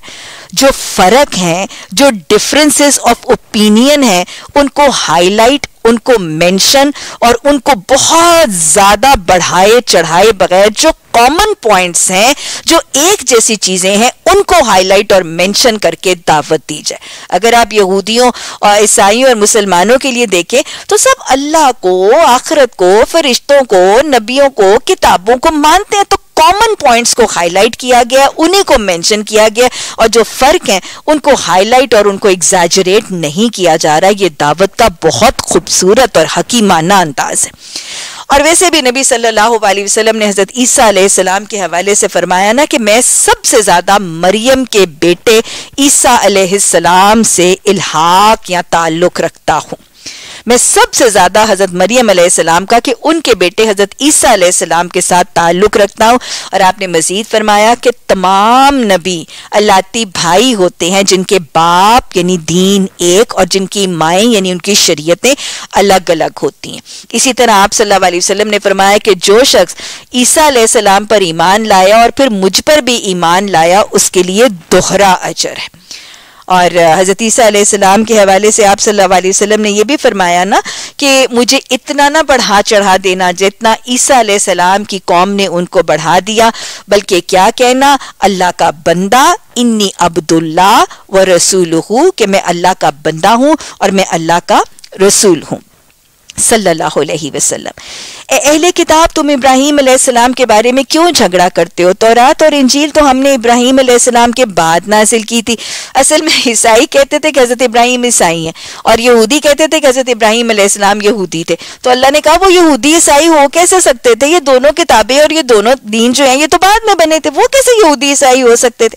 फिर क्या तुम्हें इतनी बात भी समझ में नहीं आती? तुम लोग जिन चीज़ों का इल्म रखते हो, उनमें तो खूब बैसें कर चुके हो। अब इन मामलात में क्यों बैसे करने चले हो, जिनका तुम्हारे पास कोई इल्म भी नहीं है? अल्लाह जानते तुम नहीं जानते। इब्राहिम सलाम ना यहूदी थे, ना ईसाई थे, बल्कि वो तो मुस्लिम हनीफ थे और वो हरगिज मुश्किलों में से नहीं थे। इब्राहिम से ताल्लुक रखने का अगर सबसे ज़्यादा किसी को हक पहुँचता है ना तो वो उन लोगों को पहुँचता है, जिन्होंने उसकी पैरवी की है। और अब ये नबी कौन? मोहम्मद सल्लल्लाहु अलैहि वसल्लम। और इसके मानने वाले उस नस्बत ज़्यादा हकदार हैं। सिर्फ़ अल्लाह उन्हीं का हामी और मददगार है जो ईमान लाते, अल्लाह हमें इनमें बना दे। ईमान लाने वालों, अहले किताब में से एक गरोह चाहता है कि किसी तरह तुम राह तुम्हें राह रास से खटा दे। उस दौर में भी, हर दौर में होता रहा है, हो रहा है और कयामत तक होता रहेगा कि हनूद और यहूद और नसारा मुसलमानों को उनके दीन इस्लाम से हटाने की कोशिशें, काविशें, एड़ी चोटी का ज़ोर लगाते रहेंगे। आज भी आज का लिटरेचर मीडिया केबल्स ये सारे के सारे सोशल मीडिया के ज़रिए पूरी कोशिशें की जा रही हैं कि मुसलमानों को उनके दीन से, कुरान से, इस्लाम की तालीमत से दूर रखा जाए, महरूम किया जाए, इन सिस्टमों को, इस्लामी निज़ामों को उखाड़ के रख दिया जाए। तो अल्लाह उसी बात को का तबसरा फरमा रहे हालाँकि दर हकीकत, वो अपने सिवा किसी को गुमराही में नहीं डाल रहे मगर उन्हें इसका शूर ही नहीं है। अहले किताब क्यों अल्लाह की आयात का इनकार करते हो? हालाँकि तुम खुद उनका मुशाहिदा भी करते हो। ए अहले किताब, क्यों हक को बातिल का रंग चढ़ा के मुश्तबे बनाते हो? क्यों जानते बूझते हक को छुपाते हो? मैंने आपको बताया था ना कि मुश्किन मक्का नबी सल्लल्लाहु अलैहि वसल्लम और नबूवत और कुरान की तस्दीक के लिए नहले किताब के पास जाते थे और हालाँकि उनकी किताबों में पेशिन गोइयाँ थी, वो पहचान भी चुके थे। लेकिन न खुद मानते थे और न ही पूछने वालों को तहकीक और तस्दीक का सही जवाब देते थे। अब अहले किताब की एक और मनफी रविश। अहले किताब में से एक गरोह कहता है कि इस नबी सल्लल्लाहु अलैहि वसल्लम के मानने वालों पर जो कुछ नाजिल हुआ है ना, उस पर सुबह ईमान ले आओ और उस शाम को उस पर इनकार कर दो। शायद इस तरकीब से ये लोग अपने ईमान से फिर जाएँ। ये क्या करते थे? ये एक डी फेमिंग टेक्निक थी जो उन्होंने नबी सल्लल्लाहु अलैहि वसल्लम के दीन के लिए जारी की थी। वो अपने यहूदियों को कहते थे कि जाओ, तुम सुबह नबी सल्लल्लाहु अलैहि वसल्लम की महफिल में जाओ, तुम इस्लाम कबूल कर लो और दायरा इस्लाम में दाखिल हो, मुसलमानों के दरमियान कुछ दिन रहो, उठो, बैठो और बस फिर थोड़ी देर के बाद क्या करना? या शाम को या कुछ दिनों के बाद क्या करना? उस दिन से वापस फिर जाना और वापस यहूदियत में आने का ऐलान कर देना। अब जब तुम ये करोगे तो ये क्या इम्पैक्ट क्या तासुर पैदा होगा इससे?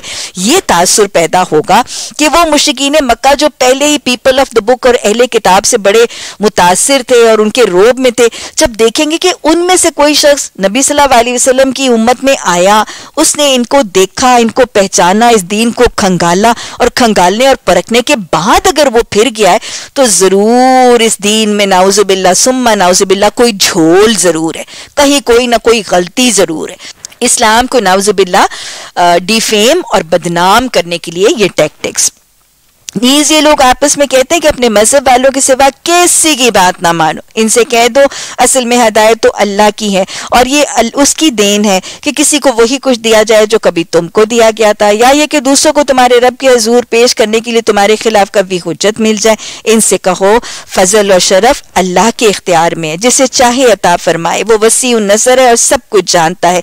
अपनी रहमत के लिए जिसको चाहता है मखसूस कर लेता है और उसका फजल बहुत बड़ा है।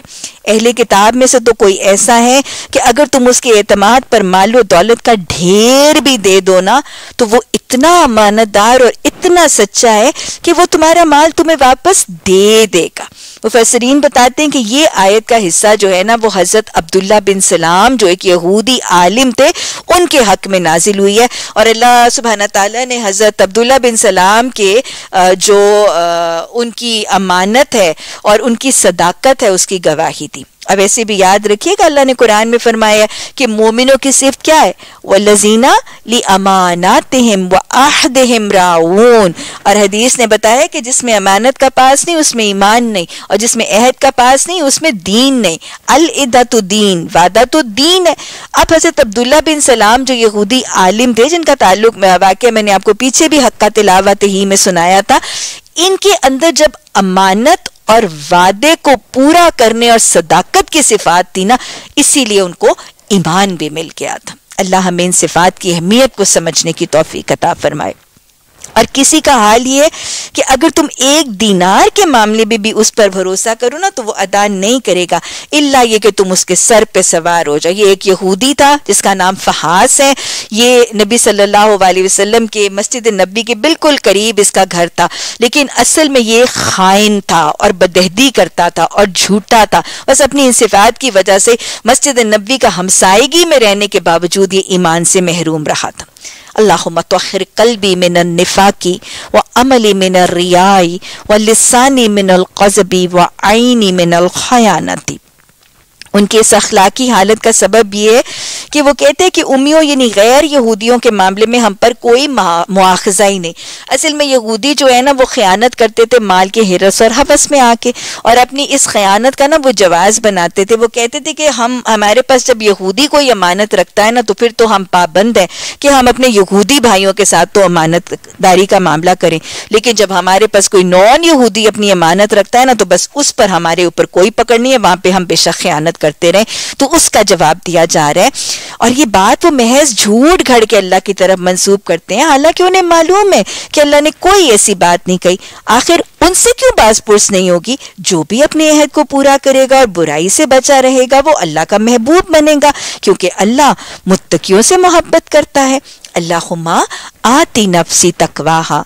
रहे वो लोग जो अल्लाह के अहद को और अपनी कस्मों को थोड़ी कीमत पर, कौन सी कीमत है? दुनियावी मुफादात की कीमत है। थोड़ी कीमत पर बेच डालते हैं तो उनकी आखरत में कोई हिस्सा नहीं। अल्लाह क़यामत के रोज़ ना उनसे बात करेगा, ना उनकी तरफ़ देखेगा और ना उन्हें पाक करेगा। उनके लिए तो दर्दनाक सजा है। ये बातें कि अल्लाह ना देखेगा, ना बात करेगा, अगर कुरान में आ जाए और हदीस में आ जाए। तो फिर ये कौन सा गुना होता है? कबीरा गुना बदहदी और खयानत। कबीरा गुना है। उनमें से कुछ लोग ऐसे हैं जो किताब पढ़ते हुए अपनी जबान का उलट फेर करते हैं। तुम समझो कि जो कुछ वो पढ़ रहे हैं, वो किताब ही की इबारत है। हालाँकि वो किताब की इबारत नहीं होती। है तो मैं पहले ही बहुत दफ़ा देख चुके हैं ना कि यहूद की ये मनफी रवैया हमेशा ही था कि वो अपनी जबानों को मोड़ तोड़ के कुछ का कुछ बनाते थे। समेना व अतवाना की बजाय समेना व असवाइना कह देते थे। फिर क्या कहते थे? आप सल्लल्लाहु अलैहि वसल्लम को राइना की बजाय राइना कह देते थे। अल्लाह ने कहा था हित्ता तुन कहना, इन्होंने हिंता तुन कहना शुरू कर कर दिया। तो ये तो इनकी मनफी सरगर्मी बहुत देर से थी।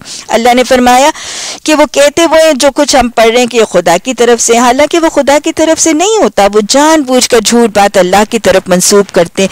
किसी इंसान का ये काम नहीं है कि अल्लाह तो उसको किताब और हुक्म और नबूवत दे और वो लोगों से ये कहता रहे कि अल्लाह के बजाय तुम मेरे बंदे बन जाओ। वो तो यही कहेगा ना कि सच्चे रब्बानी बनो। जैसा कि इस किताब की तालीम का तकाजा है जिसे तुम पढ़ते और पढ़ाते हो और वो तुमसे हर हरगिज ये नहीं कहेगा कि फरिश्तों को और पैगंबरों को अपना रब बना लो। देखा, ईसाइयों ने जो जो गलत अकीदे किए ना, उनका सारे के सारी नफी की जा रही। क्या ये मुमकिन है कि एक नबी तुम्हें कुफर का हुक्म दे जब तुम मुस्लिम हो? याद करो। अल्लाह ने पैगंबरों से अहद लिया था कि हमने तुम्हें किताब और हिकमत और दानिश से नवाजा। ये अहद कब था? वादा लस्त के मौके पर। अल्लाह सुबहाना ताला ने पहले सारे बनी नो आदम जिन्होंने क़यामत तक उठाया जाना था, सबको अल्लाह ने तख्लीक करके हाजिर किया, अल्लाह ने सवाल किया अल्लाह भी रबिकुम क्या मैं तुम्हारा खुदा नहीं हूँ? मैं तुम्हारा रब नहीं हूँ? कुरान कहते सबने हम जबान होकर कहा था, कौलू बला, क्यों नहीं तू हमारा रब? है ये तो तमाम बनी नौ, आदम से वादा वादा लस्त की शक्ल में लिया गया था। फिर उसको उनकी फितरत में रख दिया गया था कि उस फितरत सानिया की वजह से जब अल्लाह की कायनात में निशानियाँ देखेंगे, अल्लाह को नूर समावाती वल की तो अल्लाह की पहचान अंदर से एक हू उठेगी और अल्लाह की पहचान मुमकिन हो जाएगी। लेकिन तमाम बनी नौ, आदम से वादा लेने के बाद ये वादा मजीद नबियों से लिया गया था। क्या वादा था? कि अगर कोई दूसरा रसूल तुम्हारे पास उस तालीम की तस्दीक करता हुआ आएगा जो तुमसे पहले मौजूद थी तो तुम्हें उस पर ईमान लाना होगा, उसकी मदद करनी होगी। ये इरशाद फरमाकर अल्लाह ने पूछा था, क्या तुम इसका इकरार करते हो और इस पर मेरी तरफ़ से अहद की भारी ज़िम्मेदारी उठाते हो? तो उन्होंने कहा था, हम इकरार करते हैं। अल्लाह ने फरमाया था अच्छा गवाह हो, मैं भी तुम्हारे साथ गवाह हूँ, इसके बाद जो अहद से फिरेगा वो फासिक है। तमाम नबियों से अहद और फिर नबियों के हवाले से, उनकी उम्मतों से अहद था कि नबी के बाद जब अगला नबी आएगा तो उस पर ईमान भी लाएँगे और नबी पर सिर्फ़ ईमान नहीं लाना लतो के साथ, वाला तंसरुन्ना हो, उनकी मदद करने का भी वादा था। असल में ये यहाँ पे मकदी सूरत में इसलिए सुनाया जा रहा है कि वो मुश्क वो यहूद और वो ईसाई जो नबी सल्लल्लाहु अलैहि वसल्लम पर ईमान ला ही नहीं रहे थे, उनको वो वादा लस्त पर उनके नबियों से किया जाने वाला अहद याद करवाया जाए कि तुम्हारे तो नबियों से भी ये अहद लिया गया था और नबियों के अहद के तवसु से तुमसे भी अहद था कि तुम्हारे नबी के बाद या तुम्हारी इलामी किताब के बाद अगर कोई किताब या नबी आएगा तो तुम ईमान भी लाओगे और तुम उनकी मदद भी करोगे। तो गोया यहूद और ईसाइयों को उनके उस वादे को याद करा के उनकी गलत रवि कर मुतनबे किया गया था और ईमान की तरफ़ माइल किया गया। अब क्या ये लोग अल्लाह की अतात का तरीका छोड़कर कोई और तरीका चाहते हैं? हालाँकि आसमान और ज़मीन की सारी चीज़ें चारों नाचार अल्लाह ही की ताबे और मुस्लिम है। उसी की तरफ़ सबको पलटना है। इनसे कहो, हम अल्लाह को मानते हैं। उस तालीम को मानते हैं जो हम पर नाजिल की गई। उन तालीमत को भी मानते हैं जो इब्राहिम, इसमाइल इसाक याकूब और औलाद याकूब अलैहिस्सलाम पर नाजिल हुई। और उन हदायत पर भी ईमान लाते हैं जो मूसा, ईसा और दूसरे पैगम्बरों उनको, उनके रब की तरफ़ से दी गई। और हम कैसे ही मान लाते हैं? जैसे मैंने कल आपको बताया था लाफर्रिकुबैना अहदिन होम हम कैसी नबी में, कैसी इमाम में कोई फ़र्क नहीं करते। वह मुस्लिमून, और हम मुस्लिम हैं। इस फर्मा बरदारी इस्लाम के सिवा कोई शख्स, कोई और तरीका, कोई फिरका, कोई धड़ा, कोई मसलक लेकर आएगा तो उसका वो तरीका हरगिज कबूल नहीं किया जाएगा, और वो आखिरत में नाकाम और नामुराद होगा अल्लाह, हमें नाहनु लहू मुस्लिमून कहने, इसी पर जमने, इसी का शुक्र करने, इसी में इस्तकामत करने और इसी पर मौत तक डटने की तोफ़ी कता फरमा। अल्लाह फिरका वारियत से बचने, फिरका रवारियत के उन शोलों को बुझाने में अपना किरदार अदा करने वाला बना। कैसे हो सकता है अल्लाह उन लोगों को हदायत बख्शे जिन्होंने नेमत ईमान पा लेने के बाद कुफर किया। हालाँकि वो खुद इस बात पर गवाही दे चुके हैं कि रसूल हक पर है और उनके पास रोशन निशानियाँ भी आ चुकी हैं। अल्लाह जालिमों को तो हदायत नहीं दिया करता। उनके जुल्म का सही बदला तो यही है कि उन पर अल्लाह और फरिश्तों और तमाम इंसानों की फिटकार है। इसी हालत में वो हमेशा रहेंगे, ना उनकी सजा में कमी होगी और ना मुखलत दी जाएगी। अलबत् वो लोग बच जाएँगे जो इसके बाद तोबा कर ले। अल्लाह वजालनी मिन तवाबीन वजालनी मिन अलमुतहिरीन लेकिन सिर्फ़ तौबा नहीं तौबा के बाद क्या करें नो के जबान से तोबा तोबा तोबा अस्तगफिरुल्लाह नहीं और क्या करें अपने तर्ज अमल की इसलाह भी कर लें तो फिर उनके लिए अल्लाह बख्शने वाला और रहम करने वाला है। मगर जिन लोगों ने ईमान लाने के बाद कुफर इख्तियार किया, फिर कुफर में बढ़ते गए तो उनकी तोबा तो कभी कबूल नहीं होगी। ऐसे लोग तो पक्के गुमराह हैं। यकीन रखो, जिन लोगों ने कुफर इख्तियार किया और कुफर ही की हालत में जान दी, उनमें से कोई अगर अपने आप को सजा से बचाने के लिए रुए भर ज़मीन का भी सोना फिदिये में देगा ना तो उसे कबूल नहीं किया जाएगा। ऐसे लोगों के लिए दर्दनाक सजा तैयार है और वो अपना कोई मददगार नहीं पाएँगे। सूरह इमरान में अब चौथे सिपारे की पहली आयत, दसवें रकू की आयत नंबर 91 एक बहुत खूबसूरत पैगाम दे रही है। ला तलालुल मिम्मा तुहिब्बून। लन तनालू हरगिज नहीं श्योर शॉट डेफिनेटली तुम नहीं पहुँच सकते किसको? अलबिर बिर नेकी को। आयतल बिर में मैंने आपको बताया था, बिर कहते हैं नेकी को, लेकिन बिर छोटी मोटी नेकियों को नहीं, वसी एक्सटेंसिव वाइड स्प्रेड लेवल पर की जाने वाली नेकियाँ बिर हैं। अल्लाह सुबहाना ताला कह रहे हैं, तुम बिर के पैमाने पर सिर्फ़ तभी पहुँच सकते हो जब तुम खर्च करो। किसमें से? वो चीज़ें जो तुम्हें महबूब है। वो चीज़ें जिनकी मोहब्बत तुम्हारे, वो जैसे हुब्बू शहावा भी बताई गई थी। वो चीज़ें दिन की मोहब्बत तुम्हारे दिलों में रची, बसी, गड़ी हुई है ना, जब वो चीज़ें तुम खर्च करोगे ना फिर तुम नेकी के पैमाने पर पूरे उतर सकते हो। अल्लाह यही कह रहा है, नेक बनने आए हो? कुरान पढ़ रहे हो, कुरान की महफिल में बैठे हुए कुरान को समझ सुन सीख रहे हो, नेक बनने आए हो, नेकोकारों में से एक बनने आए हो, तुम छोटी मोटी नेकियाँ तो शायद कर लोगे, लेकिन अगर वसी पैमाने पर एक्सटेंसिव लेवल पर वाइड स्प्रेड लेवल पर नेकी करना चाहते हो तो फिर क्या ज़रूरी है? तुम्हें अपनी महबूब चीज़ों को लिल्ला फिल्ला खर्च करना होगा। इन्फाक फ़ी सबील अल्लाह की राम में खर्च करना और नेकी की तोफीक का आपस में बड़ा गहरा चोली दामन का साथ। क्या है ये ताल्लुक? असल में बड़ी सिंपल सी बात है। जब कोई शख्स अल्लाह की राम में माल खर्च करता है तो जाहिरतन तो उसको भी और देखने वाले को भी यही लगता है कि उसका हाथ, उसकी जेब में, उसके वॉलेट में, उसकी तजोरी में जो हाथ पड़ता है, वो हाथ उस तिजोरी में से माल निकालता है और माल घट जाता है। लेकिन ये बात जहन नशीन कर लीजिए कि जब खर्च करने वाला हाथ तजोरी और जेब में से माल निकाल रहा होता है तो जाहिरतन उस माल के साथ साथ असलन दिल में से माल की मोहब्बत भी निकल रही होती है।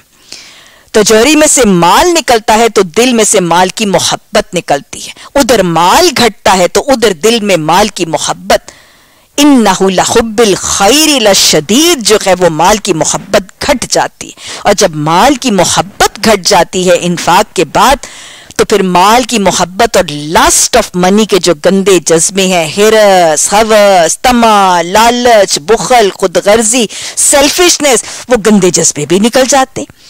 जब वो गंदे जज्बों का अखराज होता है और खरूज होता है तो फिर दिल निस्बतन खाली और हल्का फुल्का हो जाता है। और आपको पता है, जब कोई जगह खाली होती है वैक्यूम बनता है तो फिर दूसरी चीज़ें आती हैं। अब दिल में से जब ये गंदे जज्बे इन्फाक के बाद खाली होते हैं और निकलते हैं तो फिर दिल खाली होता है। उसमें फिर अल्लाह की, अल्लाह के हबीब सल्लल्लाहु अलैहि वसल्लम की मोहब्बत आती है। दिल में तकवा आता है, दिल में शुक्र और तवक्कुल आता है, दिल में फ़िक्र आखरत के जज्बात बढ़ते हैं। और जब दिल में अल्लाह और अल्लाह के रसूल सल्लल्लाहु अलैहि वसल्लम की मोहब्बत आती है ना तो फिर ही और तकवा और फ़िक्र आखिरत आती है ना तो फिर नेकियों के रास्ते पर चलना आसान होता है। तो ये है वो ताल्लुक जो इन्फाक फ़ी सबील का और बिर और नेकी की तोफीक का है। अल्लाह ने बड़ी कैटेगोरिकली कह दिया कि अगर तुम नेक बनना चाहते हो और वसी लेवल पर नेकियाँ करना चाहते हो तो अपनी महबूब चीज़ें सिर्फ़ चीज़ें ही नहीं, सिर्फ़ खर्च ही नहीं, उन चीज़ों को खर्च करो जो तुम्हारी दिल पसंद है। और मैं आपको बताऊँ कि जब कोई कुरान की आयत नाजिल होती थी ना तो साहबा कराम जो है ना, वो सुम बुकम मोमियम नहीं, वो तो रिएक्ट करते थे, वो तो रिस्पॉन्ड करते थे और आयत पे पहले अपना मुहासबा करते थे। पहले ये देखते थे आयत मुझे मैसेज क्या दे रही है? पैगाम क्या दे रही है? असूल क्या बता रही है? एंड देन अपना मुहासबा करते थे वे डू आई स्टैंड मैं क्या कर रहा हूँ? अब जब ये आयत आई, और ये जो रवैया है ना साहबा कराम का, वो मुतहरिक रवैया कुरान को सुनने के बाद उस पर बहरे होकर नहीं गिनना और मुतहरिक रवैया ये उनकी असल अमल की इसलाह का ज़रिया बना था। वो जो इलामा इकबाल ने फरमाया ना, तुम्हें अपने आबा से निस्बत हो नहीं सकती, तुम साबित, वो सही आ रहा। वो तो हरकत करते थे, वो तो मुतहरिक थे। अब जब आयत नाजिल हुई कि तुम दो नेक नहीं बनना सकते तो साहबा कराम तो नेक बनना उनकी ज़िंदगी का एम्बिशन उनकी ज़िंदगी का मकसद ही यह था कि हम नेकोकारों में शामिल हो जाए। उन्होंने जब महासबा किया तो उन्होंने अपनी महबूब चीज़ों का महासबा करना शुरू कर दिया, और कैसे कैसे उन्होंने महबूब चीज़ें खर्च की। हज़रत अब्दुल्ला बिन उमर रज़ी अल्लाह तन का पता चलता है कि उनकी एक लौंडी थी जो उनको बहुत पसंद थी। बड़ी खिदमत गुजार फर्मा बरदार बड़ी अच्छी लौंडी थी। उन्होंने उसको अल्लाह के लिए आज़ाद कर दिया। हज़रत जैद बिन हारिस और हज़रत उसामा बिन जैद का एक घोड़ा था। और आपको पता है, जो पालतू जानवर बड़े प्यारे और बड़े महबूब होते हैं ना, उनका हम कई दफ़ा नाम रख लेते हैं। उनको इतना महबूब था कि उसका नाम उन्होंने सल रखा हुआ था। तो जब ये आयत नाजिर तो उन्होंने सल को, फ़ी सबील अल्लाह की राह में उनको वक्फ कर दिया। फिर हमें एक सहाबी, हज़रत अबू तलहा, हज़रत अबू तलहा बिन जैद अंसारी, इनका वाक्य, मैं और भी बहुत सुनाऊँगी इनकी और इनकी जौजा मोहतरमा हज़रत उम्मे सुलैम के वाक्य। तो हज़रत अबू तलहा बुखारी में आता है कि जब ये आयत नाजिल हुई तो उन्होंने सोचा कि मेरी महबूब चीज़ कौन सी है? और जब उन्होंने अपनी महबूब चीज़ देखी तो उनको, उनका एक बाग था, बीरोहा का बाग। और let me tell you what ये बाग जो था ना, ये सेंटर ऑफ़ मदीना में हार्ट ऑफ़ मदीना में था। और उसके सेंटर में एक कुआँ था। जिसका पानी बहुत ठंडा मीठा था और खजूरें भी थी।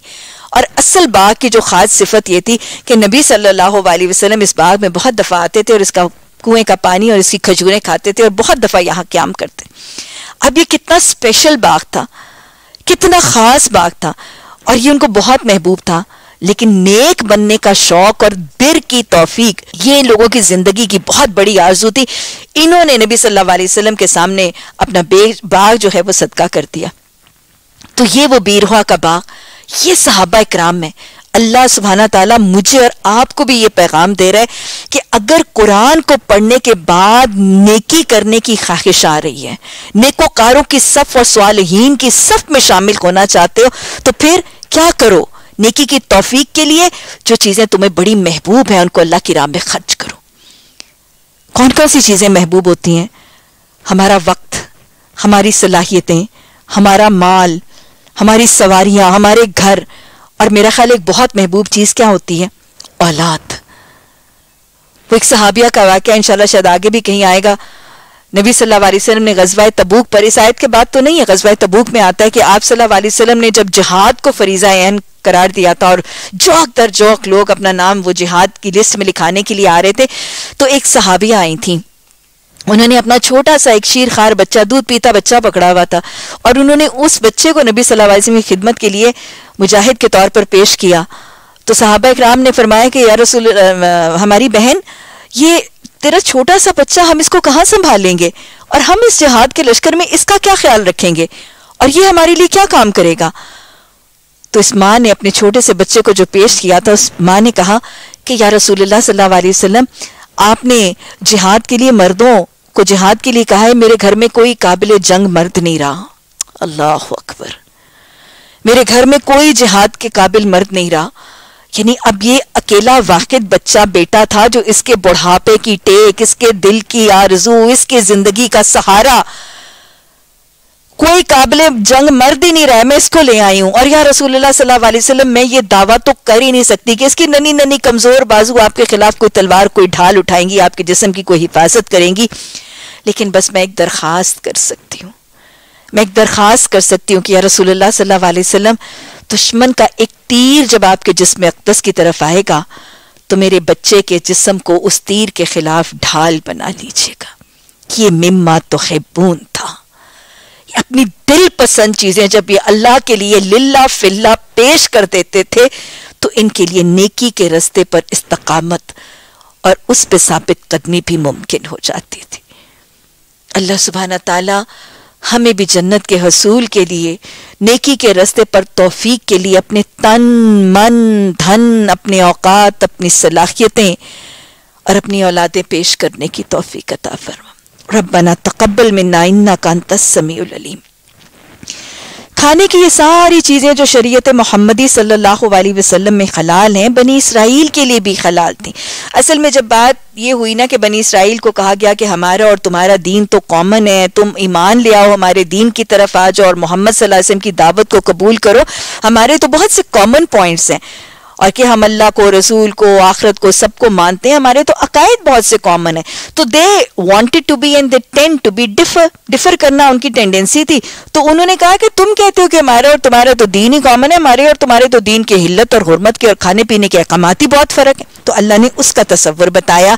असल में इनके अहकामात फ़र्क इसलिए हो गए थे कि हज़रत याकूब अलैहिस्सलाम जिनका लकब इसराइल था, उन्होंने या तो अपनी फितरी डिसलाइक की वजह से, अपनी फितरी कराहत नापसंदीदगी की वजह से।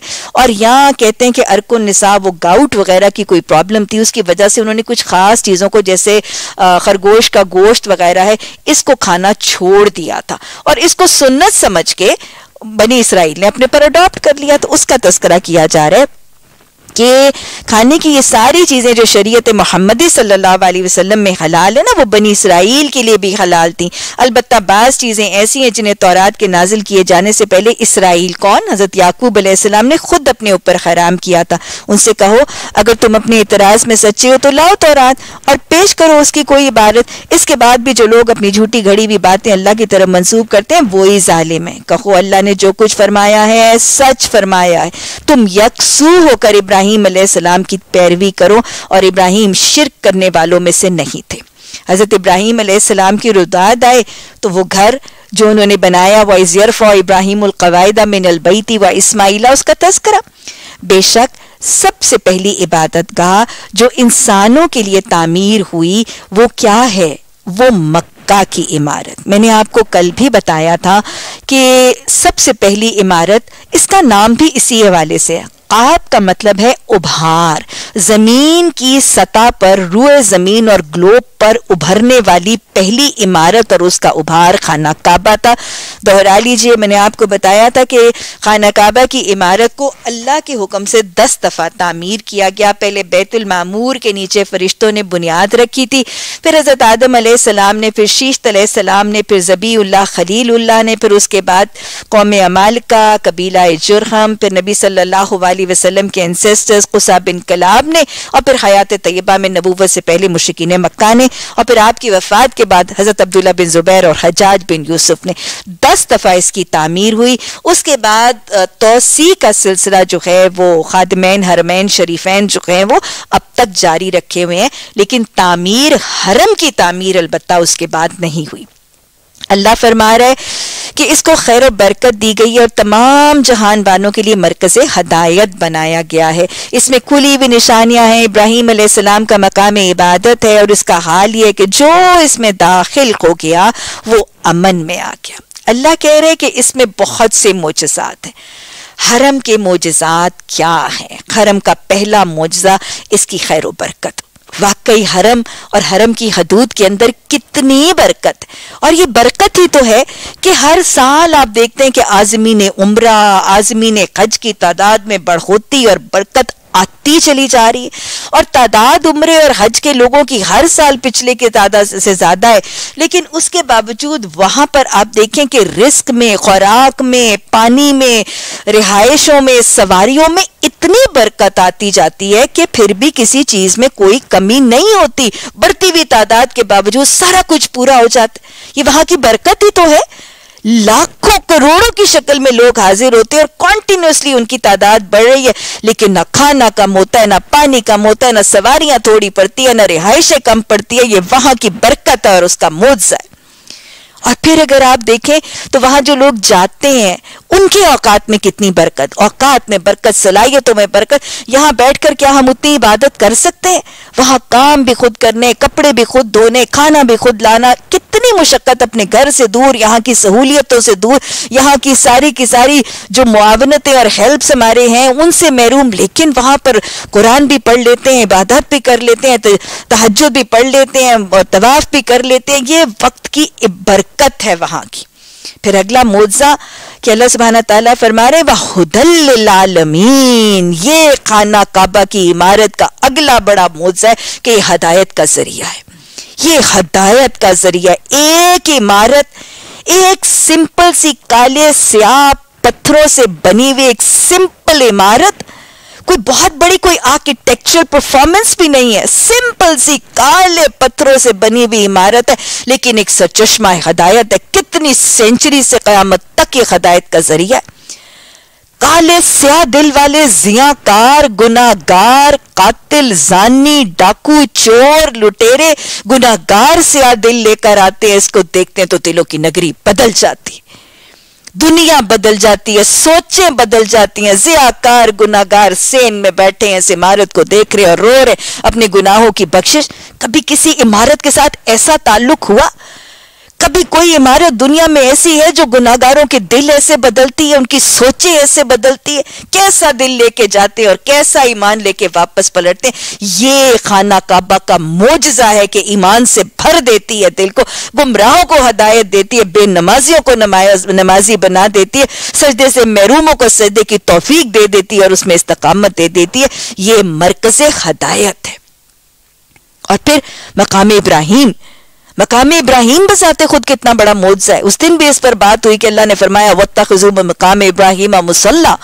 कितना बड़ा मोजा कि ये पत्थर आसमान से उतारा गया और मोजाना ऊपर भी होता था, घूमता भी था और बाप बेटे ने मिलकर हरम बनाया। और इतना सख्त पत्थर के कितने साल साल, कितनी सदियों के साथ ये ना टूटा है, ना कुछ है। लेकिन उस पत्थर के ऊपर मोजाना तरीके से इतना लंबा सा हज़रत इब्राहिम सलाम का वो नक्श पा ये बजाते खुद कितना बड़ा मुआवजा है। और फिर अल्लाह ने कहा, मन दखला हो काना आमना, वहाँ का अमन, हरम का अमन, हरम के हदूदो हदूदो इर्द गिर्द का अमन, वहाँ की बस्ती का अमन। एक बच्ची आप देखे कि पूरे रूए ज़मीन पर अमन की ये रुदाद और ये नमूना नहीं मिलता। एक बच्ची जवान, कमारी, बाकरा बच्ची तन तना आधी रात को उठती है, अकेली अपने अपने होटल, अपने अपार्टमेंट से निकलती है, खरम में जाती है, वहाँ पे तवाफ करती है, अकेली वापस आ जाती है, ना खौफ है, ना खतरा है, ना इज़्ज़त को, ना आबरू को, किसी दुनिया की ज़मीन के ऊपर है ये अमन है, ये मोजा है और ये हज़रत इब्राहिम सलाम की दुआ है। और फिर मोजा हरम का एक बहुत बड़ा मोजा वो चाहे जमजम है, वो आब जमजम है जो कितना बड़ा मोजा आब जमजम कितना बड़ा मोजा है। कैसा बड़ा मोजा जैसे ये चश्मा निकला। वो दो छोटी छोटी, कमज़ोर सी, नहीव सी, एक भूखे, प्यासे शेर खार बच्चे की पाओ की एड़ियाँ संगलाक ज़मीन पर रगड़ी गई और वो पानी का चश्मा जारी हो गया। जैसे ये चश्मा निकला तो वो मोजा है। और फिर ये निकलना और ये चश्मा जारी है जारी है जारी है जारी है। चौदह सौ साल से बैर है बैर है। लको तक से रहा है, दूर दूर तक पानी का कोई कोई कतरा नहीं है, ना नहर है, ना कोई दरिया है, ना कोई समुंदर है, जेर ज़मीन पानी है तो गहर। है लेकिन ये चश्मा तब से फूटा और वो बह रहा है, बह रहा है और इतना पानी है, इतना पानी है कि मक्का से मदीना ले गए, मदीना से जद्दा ले गए। वहाँ से लोग कैन भर भर के लाते हैं, सारी दुनिया में लेकर जाते मोजा नहीं है, ये चश्मा है कि रुकने कोई नहीं आता। कि जारी है ये चश्मा। वो आले सऊद ने इसकी इन्वेस्टिगेशन और रिसर्च की कि ये कहाँ से आ रहा है पानी? इतना पानी आ कहाँ से रहा है अल्लाह के करम के साथ। वो जो इंजीनियर जो तहकीकी टीम में था, उसने बताया कि चाहे जमजम जो है, वो चौदह पंद्रह फुट का तकरीबन उसका हौज है। वो जो कुआँ है ना, चाहे जमजम, उसने कहा कि चौदह फुट और पंद्रह फुट उसका साइज़ है और गहरा है और कहते हैं कि उसकी जो साइड है ना, उसके ऊपर पत्थर की दीवार है और उसकी ज़मीन के ऊपर मट्टी के ऊपर ना छोटे छोटे पेबल्स और संग्रेजे पड़े हुए हैं। और उसने कहा कि जो पानी की तय है ना, इस कुएँ के अंदर, वो तकरीबन चार से पाँच फुट है कि एक एडल्ट मर्द जब खड़ा होता है ना तो उसके तकरीबन सीने तक पानी आ जाता है। और वो कहते हैं कि हमने क्या किया कि इसके अंदर वो पंप्स मोटर्स के साथ लगे हुए और कहते हैं कि जितने पंप्स इसमें है ना, उससे हमने डबल कर दिए। और सारे के सारे पंप्स को हमने फुल थ्रॉटल डबल स्पीड के ऊपर चला दिया और पानी उसमें से पंप आउट होने लगा। और कहते लगे बताते हैं कि वो कितने घंटे वो मोटर्स और वो पंप्स चलती रही फुल स्पीड पे चलती रही। लेकिन कितने घंटों के बावजूद पानी की सतह में सिर्फ़ एक आध इंच का फ़र्क पड़ा। कहाँ से आ रहा है पानी? किधर से आ रहा है ये पानी? ये मुझसा है। और चाहे जमजम का ये पानी बजाते खुद एक मोजा है, ये भूख भी मिटाता है, ये प्यास भी मिटाता है, इसमें मादनियात भी बेहतरीन है, इसमें शिफा भी बेहतरीन है, और फिर ये कि इसका एक छोटा सा बोतल का ढकना पूरे बर्तन में डाल दिया जाए तो वो सारे पानी के अंदर वो सिफात आ जाती है, साल साल भी पड़ा रहे। थोड़ा सा पानी हमारी बोतों में पड़ा रहता तो सरांड आ जाती है, स्मेल आ जाती है, मशरूबात खराब हो जाते हैं, ये साल साल भी पड़ा रहता है। ना इसमें सरांड आती है, ना इसमें स्मेल आती है, ना ये प्यूट्रीफाई होता है, ना ये कंटेमिनेट होता है। अल्लाह सुबहाना ताला ने इसकी सफ़ाई के लिए आज साइंटिस्ट पूरी कोशिश करते हैं, हम अपने पानियों की प्योरिफिकेशन के लिए क्लोरीन डालते हैं। साइंटिस्ट चाह रहे हैं कि हम पानियों को करें वो बेहतर है। कोई केमिस्ट कोई फिजिस्ट कर नहीं सका। मेरा रब अपने चाहे जमजम को फ्लोरिनेशन के ज़रिए पाक किए हुए फ्लोरिनेशन के ज़रिए जो है वो साफ़ किए हुए। इसी वजह से आम कुओं के ऊपर जो है वो फंगस ग्रो कर जाती है अलगा और पपूंदी वगैरह लग जाती है। चाहे जमजम इसकी फ्लोरिनेशन की वजह से कुछ भी ऐसा मामला नहीं। ये मोजा है, ये मोजा है हरम की निशानियों में से एक है। और फिर हरम की वो सबसे बड़ी निशानी, वो सबसे बड़ी हरम की निशानी कि लोगों को एक दफ़ा नहीं, दो दफ़ा नहीं, बीसवीं दफ़ा भी जब हरम की तरफ़ पैमान मुलाकात की दावत आती है, मौका मिलता है, सर के बल चल के जाने को सब तैयार। दुनिया में कोई इमारत ऐसी नहीं। आपको कोई एक दफ़ा कहेगा, कोई दो दफ़ा कहेगा, चलो और ताजमहल देख के आते हैं आईफिल टावर देख के आते हैं, हम फला चीज़ देख के आते हैं seven wonders of the world कोई एक दफ़ा देखेगा, दो दफ़ा देखेगा, तीसरी दफ़ा कोई देखने को कहेगा तो कहेगा, मैं देख आई हूँ, मैंने क्या करना है बार बार जाके? I been there done that लेकिन हरम? Been there I want to keep on being there मेरा दिल है मैं बार बार जाती रहूँ। ये करम है। बार बार जाने पे दिल करता है। हर दफ़ा जाते हैं। तो पहली नज़र के ऊपर कोई इमारत है? कोई इमारत इस रोए ज़मीन पर है? तो मैं चैलेंज करके कहती हूँ, बता दीजिए कोई इमारत है कि जिसको निगाह डालें, पहली निगाह डालें, दुआ कबूल होती है, दिल की धड़कन रुक जाती है। कोई इमारत है कि जिसके सहन में शदाई बैठे हुए हैं और उसको तक रहे हैं और बस तक रहे हैं और बस तकना ही इबादत है? कोई इमारत है कि जिसके शदाई उस पर चक्कर लगा रहे हैं और चक्कर लगा रहे हैं और शदाइयों की तरह घूमते ही जा रहे हैं? ऐसा लगता है सेंट्रीपीटल फोर्स है जो इनको खींचती चली जा रही ये मकनातीसियत है। और कोई इमारत दुनिया की ऐसी है कि यहाँ से वापस आने वाले उल्टे पाँव पलट के आ ही नहीं सकते हैं। है ना? उसके तरफ़ कमर करके वापस पलट ही नहीं रहा। कोई दुनिया की इमारत है, ये वाहिद इमारत है, ये वाहिद इमारत है दुनिया की शुरू ज़मीन पर के इसको छोड़ के जाने वाले जब पलट रहे होते हैं तो वापस कमर करके नहीं, उल्टे पाँव चलते हैं। झाँक झाँक के देखते हैं, हरम आँखों से ओझल हो जाता है तो दिल की धड़कन रुक जाती है, आँखों से आंसुओं की झड़ी जारी हो जाती है। कभी किसी इमारत को किसी ने रोते हुए भी छोड़ा है।